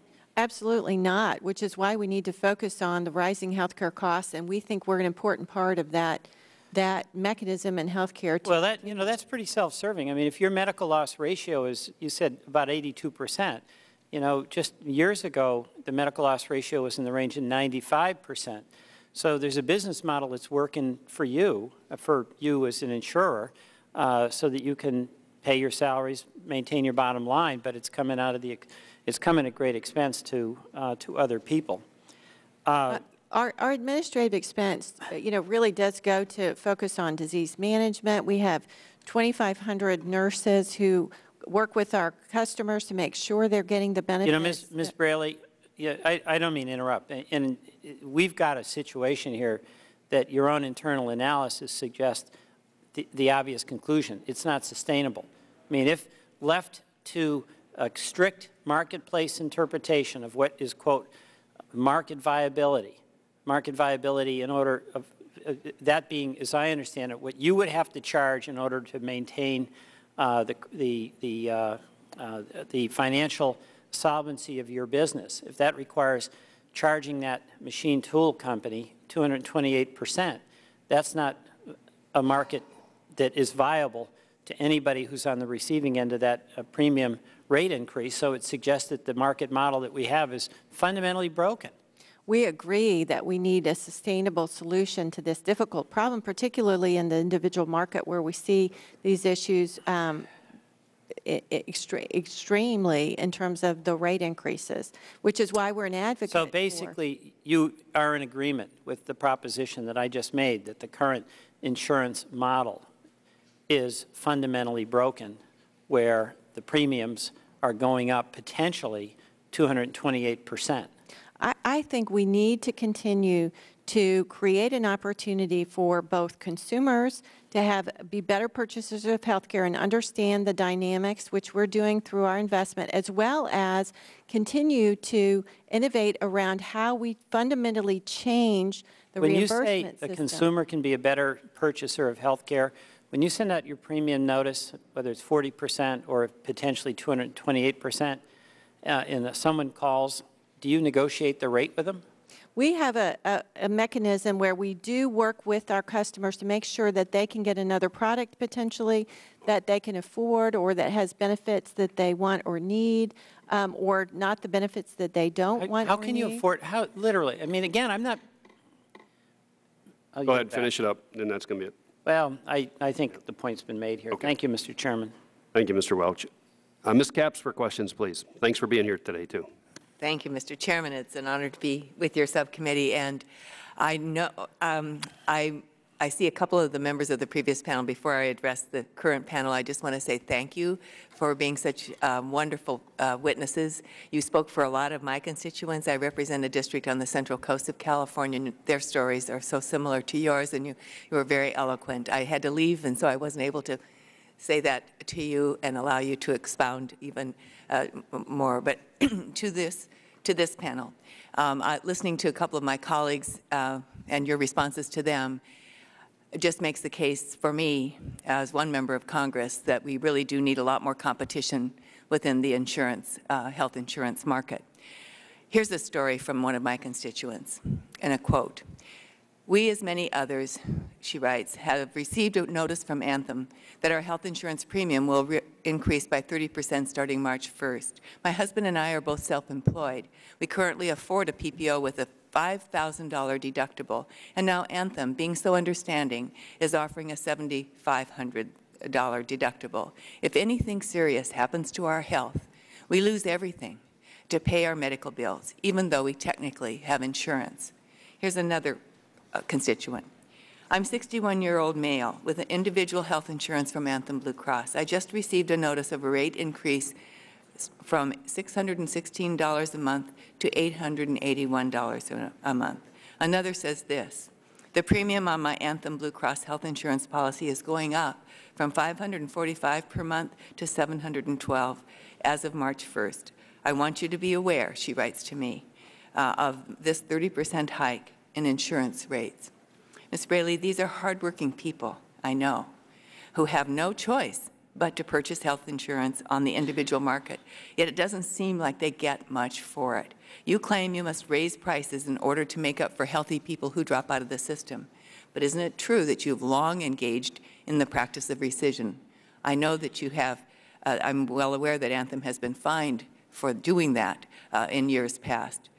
And knowing that it may well drop me as a consumer who would, in the event that I would become sick, is certainly not an attractive enticement for me to a health, as a healthy customer to join forces so that you can help to, to keep your costs down. You don't market yourselves very well. At a time when your company is bringing in record profits, but when the rest of our economy is suffering, I want to know what steps you're going to take now to make quality health insurance products affordable to the people like my constituents who want to be responsible and want to purchase health insurance but just can't do that. Do you want to respond quickly? I have another I question. would, thank you. Thank you for the opportunity to talk about what we are doing to try to make healthcare uh, premiums more affordable. For example, when we negotiate with hospitals in California, our goal is to have zero increases. Often those hospitals come to us requesting a 40% increase. And if there is not competition among hospitals, the regulators have said that it is inappropriate for us to terminate those hospitals from our network because then we'd have an access problem. So as a result, we, we don't have the, the ability to, uh, you know, not agree to those uh, very high rate increases from the hospital. So we are going to uh, continue to fight on behalf of our customers to make sure that the health care that they're receiving is affordable and high quality.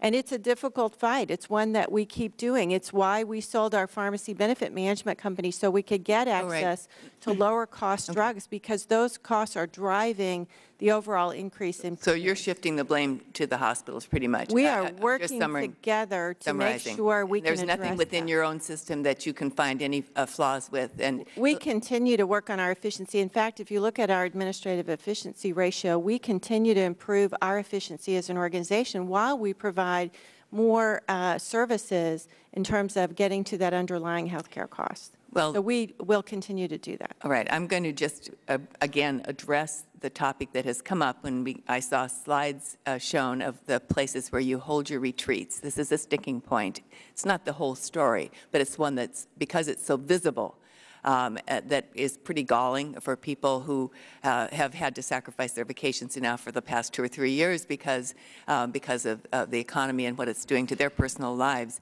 Uh, and yet, now I'm, I'm going to finish, and then I'll, I, I want to give you the rest of the time to respond. You have continued to make these retreats a part of your uh, working, working relationship and offering these to your employees. Consumers are making sacrifices in order to hold on to their health insurance as the premiums go up and, and as they faced being denied. Um, these retreats hold more sway with your company than the health and well-being of your subscribers. And I will allow you any seconds Thank I you. have left. to- You know, those uh, meetings have been characterized as retreats for our- our associates, and that is incorrect. Those meetings that were described are meetings that we have with our customers, meetings, group Which customers. customers? Uh, Often, I meet quarterly with the representatives for our, our customers, our customer advisory group, and we, we who- meet who are those customers. people? They are um, representatives from our customers, so business people who buy the benefits on behalf of group Oh, so you're selling your benefits at those uh, lavish resorts? We are meeting with uh, representatives, brokers and agents. You heard one of the panelists say she was going to work with her agent to understand what her Oh, that's where her are. agent was when she was trying to get a hold of her. We, we, we um, make sure that our agents and brokers, consultants and customers know what our benefits are, know what plans and services we can provide to them. We just And you justify that cost and as you are raising the premiums? No, we, we continue to focus on making sure we, we're more efficient. We do need to meet uh, with people that are agents, brokers, and customers. We find that they provide input to us in terms of how we can improve the services and benefits that we provide to, in the case of brokers and consultants. Do you ever meet with your premium holders? Do you ever talk with them? I do, and I'm delighted to, and I appreciate the opportunity when I get to.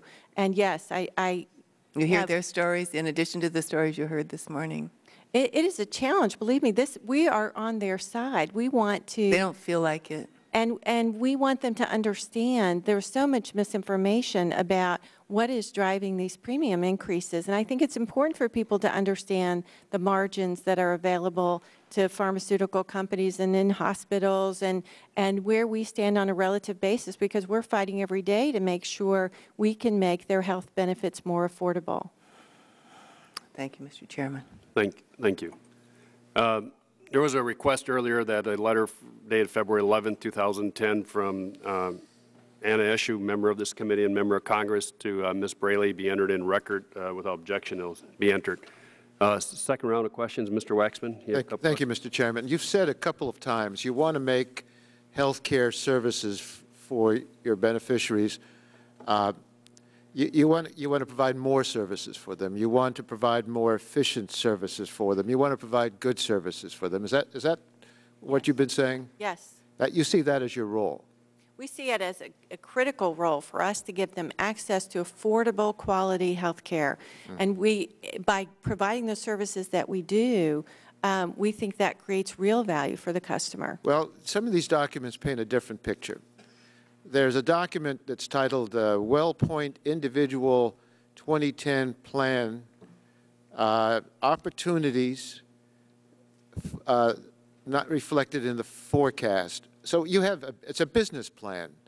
And under this business plan, there's a, a section called Risk Management. And it says, our medical loss ratio should improve as we eliminate subsidies and other risk management initiatives. And then you have a number of initiatives.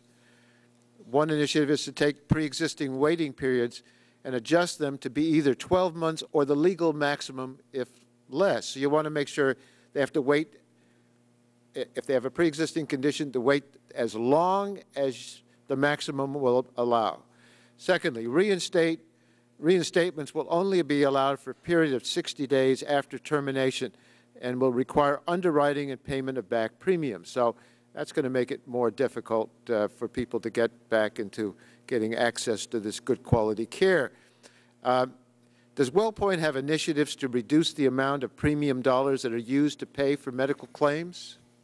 We, we have a number of initiatives to try to reduce medical costs, period. And then as, How about to reduce uh, not just medical costs, but medical services?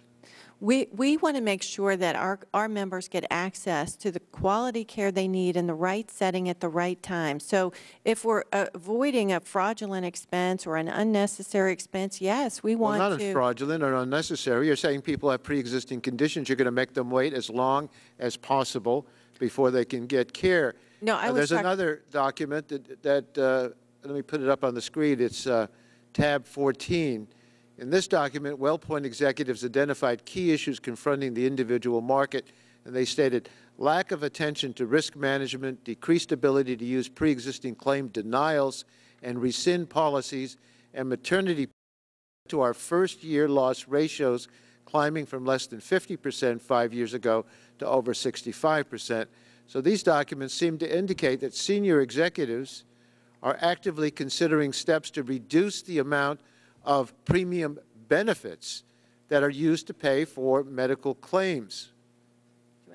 If you're going to reduce payment for claims, you're reducing payment for claims for legitimate medical services.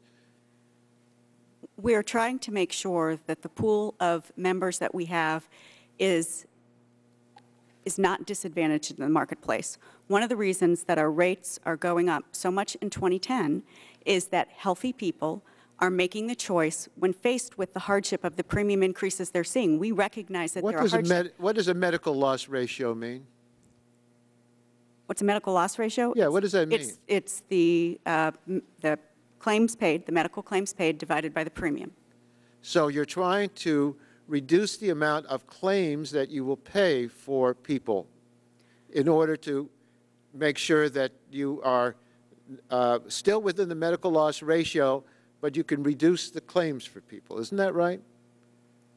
No, you can't reduce claims without changing your medical loss ratio. That's not possible. Okay, well, if, um, if there, if you're looking for ways in a business strategy to manage the risks, these all sound very nice, managing the risk, and then the ways you do that is to deny people uh, access to care, so you don't have to pay for that care for a longer period of time.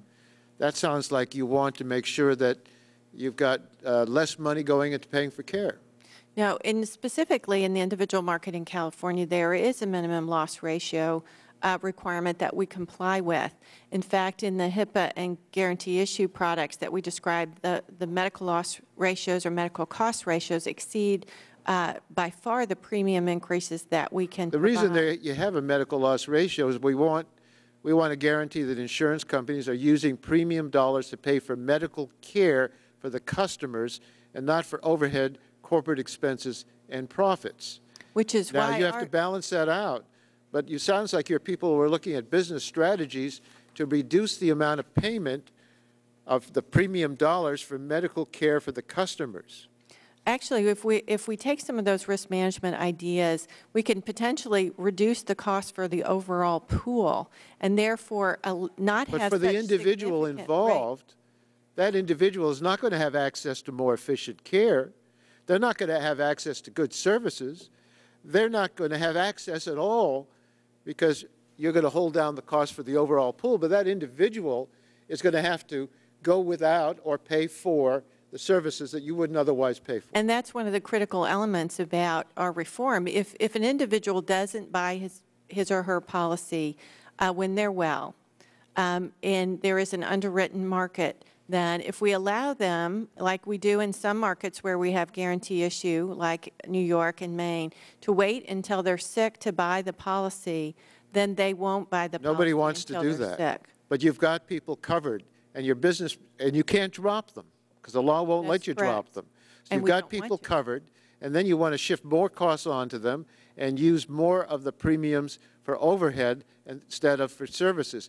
What I think we need is, is meaningful health reform to guarantee that the insurance companies are using premium dollars to pay for medical care for the customers and not for the overhead, corporate expenses, and profits. What is the, in the bill, what do we have? We have 80% requirement that the money collected by premiums be used to pay for, for uh, health insurance claims. Correct. You, you're, you don't, We're- 85%. How, you, you don't, you don't do that now, We're at do you? 82.6%. I want, I want to address that question, though, too. You know, when every administrative dollar that we spend, we want to produce a lower cost of care as a result of that. So we make investments in things You don't produce a lower management. cost of care. You produce a, a, a certain amount of, it to meet the ratio and certain amount uh, to make sure that you're, you're, you're meeting your expenses and your profits.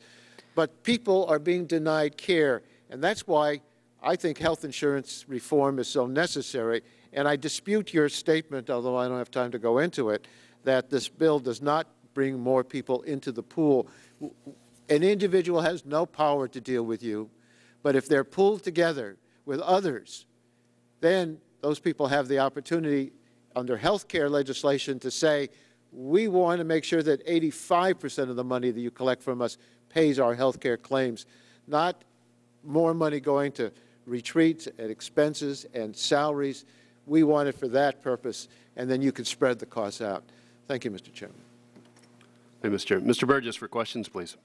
Thank you. Let me just clarify, uh, on the- an AMA, American Medical Association site last night, uh, and of course, they're not your biggest ally or fan, but they reported a medical loss ratio for WellPoint at, at 84.8%, which was right at that 85% figure that was mandated in the bill. Why, is that for the whole company and it's different in California? They may be looking at statutory financial statements versus GAAP. The, the, the GAAP statements show for year end, we were at 82.6, which is an enterprise-wide. So I'm not sure exactly where they're uh, 84.8, but there are many products in They which. tweeted it, so I know it's Right, right. Right. Um, Let me ask you a question. I thought Blue Cross was a nonprofit. We have all this discussion of profits today. I always thought when I was in practice that Blue Cross was a nonprofit. There, there are many companies who have Blue Cross licenses. We're a for-profit company, but as we've described, the not-for-profit companies continue to have margins sometimes in excess of ours. Um, because we've come together as former Blue Cross independent states, and we've created a lot of efficiency and scale at WellPoint, and so we're, we're a more efficient Blue Cross plan, but we're a for-profit Blue Cross plan. Well, one of the areas, uh, I'm sorry, Mr. Waxman is gone, one of the areas where I disagree with Mr. Waxman, but you agree with him, is that we need a mandate, an enforceable mandate, a rigid mandate in this health care bill. Mandates are an anathema in a free society. Uh, My, my submission is that they do not work. We have a tremendous mandate right now with the IRS. Everybody knows you've got to pay your income taxes, and if you don't, you may not be exactly sure of the penalty, penalties, but you know it's bad and you don't want to find out. And our compliance with the IRS is about 85 percent. Well, we have 15% of people uninsured in a voluntary system in this country, so I don't know how much more compliance we get by going to a mandate, and yet we ask honest people to give up significant freedoms. When we did the Medicare Part D program several years ago, and part of my job as a member of Congress was to go out and talk to people about the changes coming to Medicare. And I can't tell you the number of people who would tell me that you can't make me take that prescription drug benefit. Uh, no, ma'am. I will. I, I'm not here to make you take it. It's there for you if you want it. Well, you can't make me take it. I said, no, that's right. You can do what you're doing right now, and that's okay. You can't make me take it. Well, what are you doing right now? Well, I don't have drug coverage. you can keep it. You can keep that non-coverage as long as you want. Now, there was a penalty involved, and we got a lot of criticism for that, that if you didn't sign up in the open enrollment period, which at that point was six months after the initiation, that people would be, uh, would pay a a 10% premium for coming into the system if you will, after they got sick, because we were trying to make the benefit look more like insurance and less like an entitlement. And, you know, the story with Medicare Part D, although it's not perfect, is that it has provided a benefit now to 92 or 93 percent of seniors have a credible prescription drug coverage of some sort, and 92 or 93 percent are satisfied or very satisfied. So that's a pretty good track record. Now, we did that without a mandate, and the, the model that we should follow, in my opinion, is that model, which is to create programs people want. If you get a mandate, which is a program you want, but if you get a mandate, then there's no reason for you to, to try to compete for that, for any of these uh, uh, subscribers' business. And yet, how much better would it be if you said, well, we're going to create programs that people want and, and will want to stay with us over time? I wish I could have a longitudinal relationship with my health insurance company. I have with my car insurance company since I was 18 years old. But health insurance, you, you shop around every year to get the best deal in, when you're in small business or your employer shops around for the best deal. And as a consequence, you don't get to keep your insurer over time. And one of the reasons I went with a high deductible policy, so I could keep have a longitudinal relationship with my insurance company. We're far better off if we construct programs that people want rather than telling them what they have to have. Now, you've got, and I think it's already come up, that it would, the increases in the California individual market could be as much as 106% under the, the confines of the House-passed bill. I mean, that's a pretty significant figure. Now, Mr. Uh, Stupak is correct. None of benefits start for four years, so it might not happen to you right away, but at some point, the cost of those benefits is going to go up. And, and the truth is, no one really knows because we haven't you know, we, we do these budget scores, but no one really knows. Look how far off the mark we were when we passed Medicare in 1965 with what it costs us today and Mr. Waxman talks about your medical loss ratio, look at our unfunded liability in Medicare and Medicaid. I mean, that's what's that's what's staring people in the face. Yeah, we got a lot of problems here we need to fix. They're complex problems. They're really hard to do. We need to do them.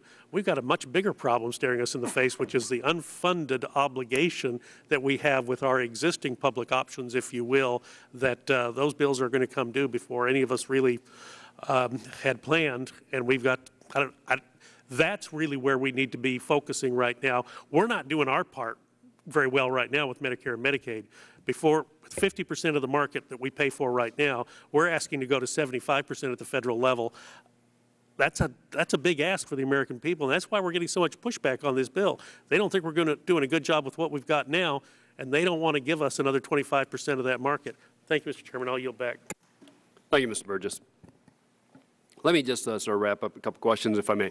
Uh, Ms. Braly, you indicated that the drivers um, for, for this increase, the 39% increase you're seeking, um, doctors were 6%, hospital was 4%, I think you said, and pharmaceutical 13%, right? No, hospital trend is about 10%. The Okay. physician trend is 6 and the pharmaceutical trend is about 13 for California for the 2010 rates. Okay, so that's about 29%. So does that leave 10% then for administrative costs? No, uh, Cindy can take you through the different elements that went into the price increases. Now, I'm just trying to keep this simple so average lay people like me can understand how you come up with 39%. If you're projected, and these are all projected, right? Doctors, 6%, you said, hospital, 10%, pharmaceutical, 13.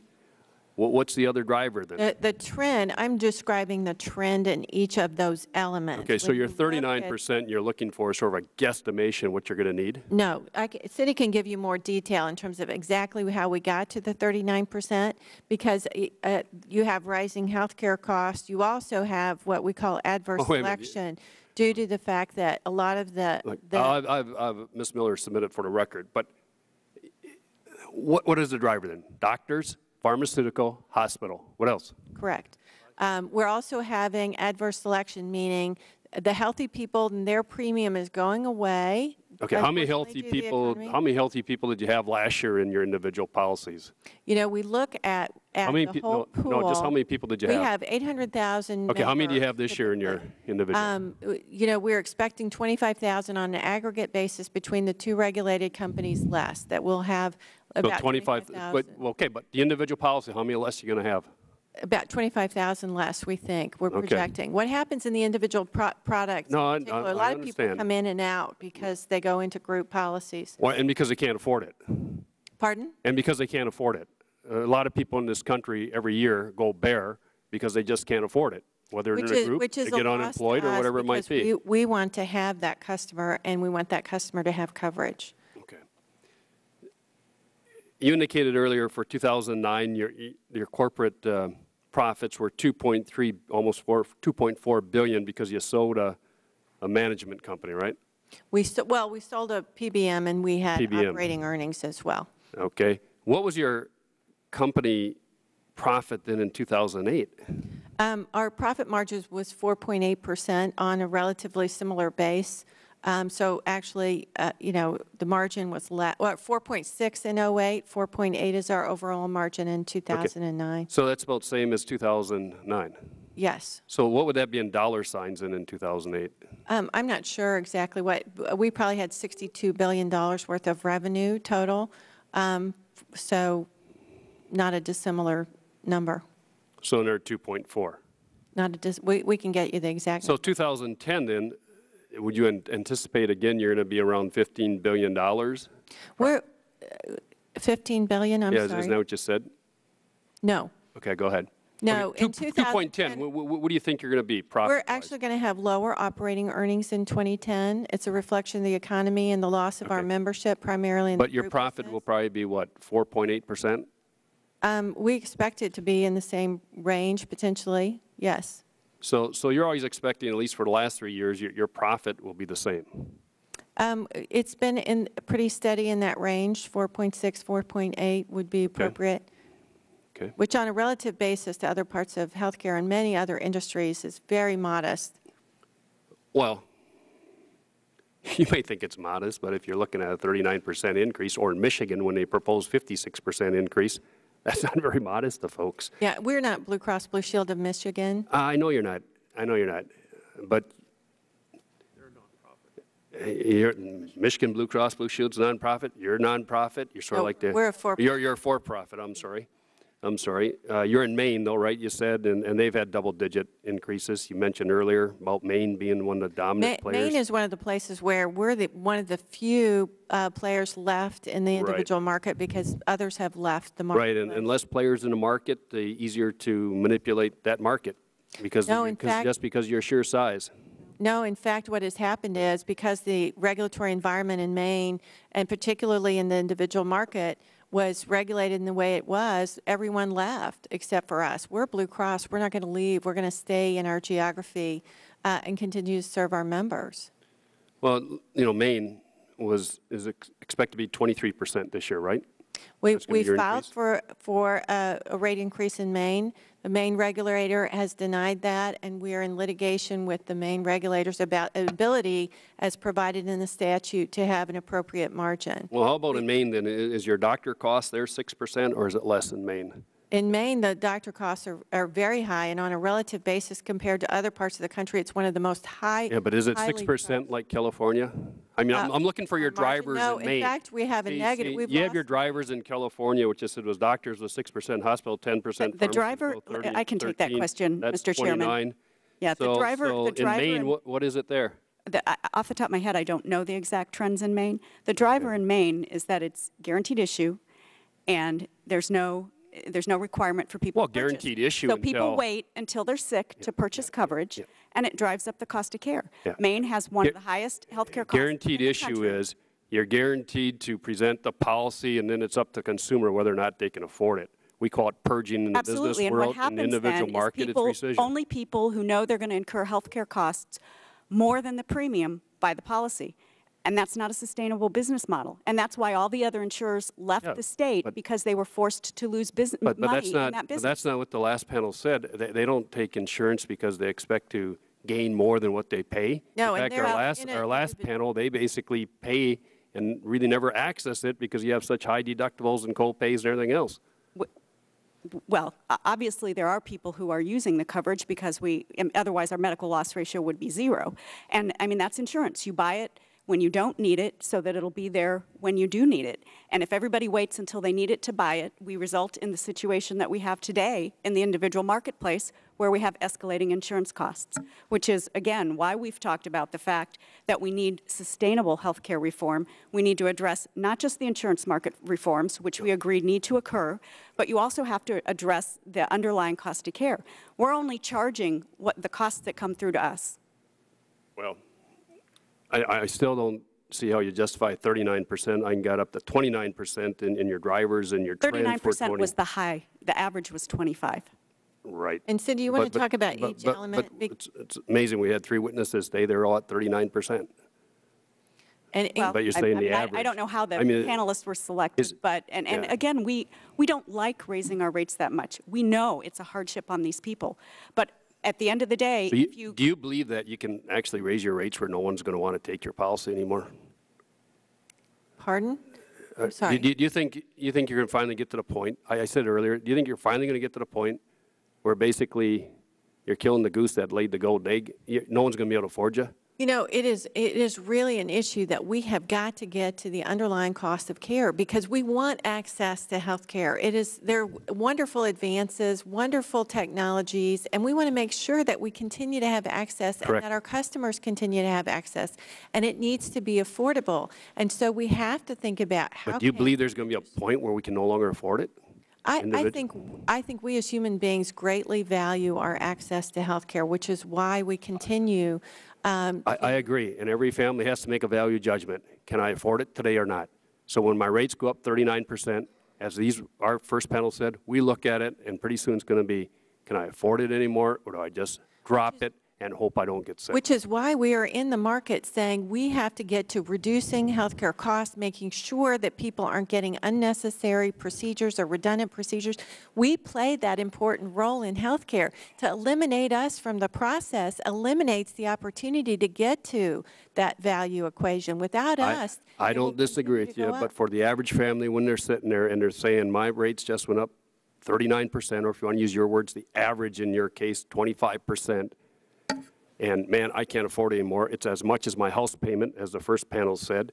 And then I look at the end of the year, and darn it, you made $2.358 billion, and the salaries are in millions of dollars for the executives. How can I sustain that? Because I'm the one who paid it, not them. And you're getting to the point where no one can afford it. And we're, we are serving 34 million Americans across the country, and our goal and desire is to try to get to, for them affordable health benefits that they can continue to access the quality care, the drugs that they need and want And it's not working. well. When I came to Congress, like our first panel, small business people, 64% of people had health insurance, would buy it. Now we're down to about 34%. That's why we have to do something on health care in this country, because the cost is killing us. And that's And why we're just going way over and arguing and probably getting outside the scope of this hearing. So with that, Might might I ask one last question of our witness? sure. We have a vote in a few minutes on repeal of McCarran-Ferguson. Do you have an opinion as to whether or not that's going to bring down health care costs? You know, my belief is it's not going to mm, affect healthcare costs one way or another. Is it another. going to affect We- your business? Is there any reason we- not to do it? Uh, The, the unintended consequence that Yeah, we worry about from the McCarran-Ferguson repeal is that there are initiatives to share data with the evolution of health IT in particular. If we can address some of the quality uh, opportunities through the sharing of data, we hate for those to be eliminated as part of this process. But that would be true in anything, infection control uh, ideas, de-identifying and aggregating data is going to be critical in that. Exactly. And that's what, as Health IT advances, and we're investing in that to make sure we can use that data as meaningful information, um, that, you know, we'd hate for that to be eliminated as an unin- unintended consequence of that repeal. What about professional baseball? Would there be any unintended consequences to? No consequence to us. That's the Curt Flood case. You don't even want to go there. Um, With that, let me conclude uh, this panel, and thank you both for being here, and thank Thank you you. for your testimony today. That includes all questioning. I want to thank all of our witnesses for coming today and for their testimony. The committee rules provide that members have 10 days to submit additional questions for the record.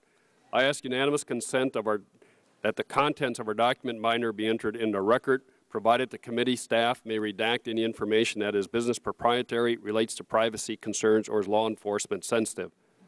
Without objection, our document binder will be entered in the record. Also, I ask unanimous consent the letter from Mr. Dingell to the National Association of Insurance Commissioners and their response dated February 17, 2010, be submitted as part of the record. Without objection, documents will be entered into record from Mr. Dingell. That concludes our hearing. This meeting of the subcommittee is adjourned. Thank you all again.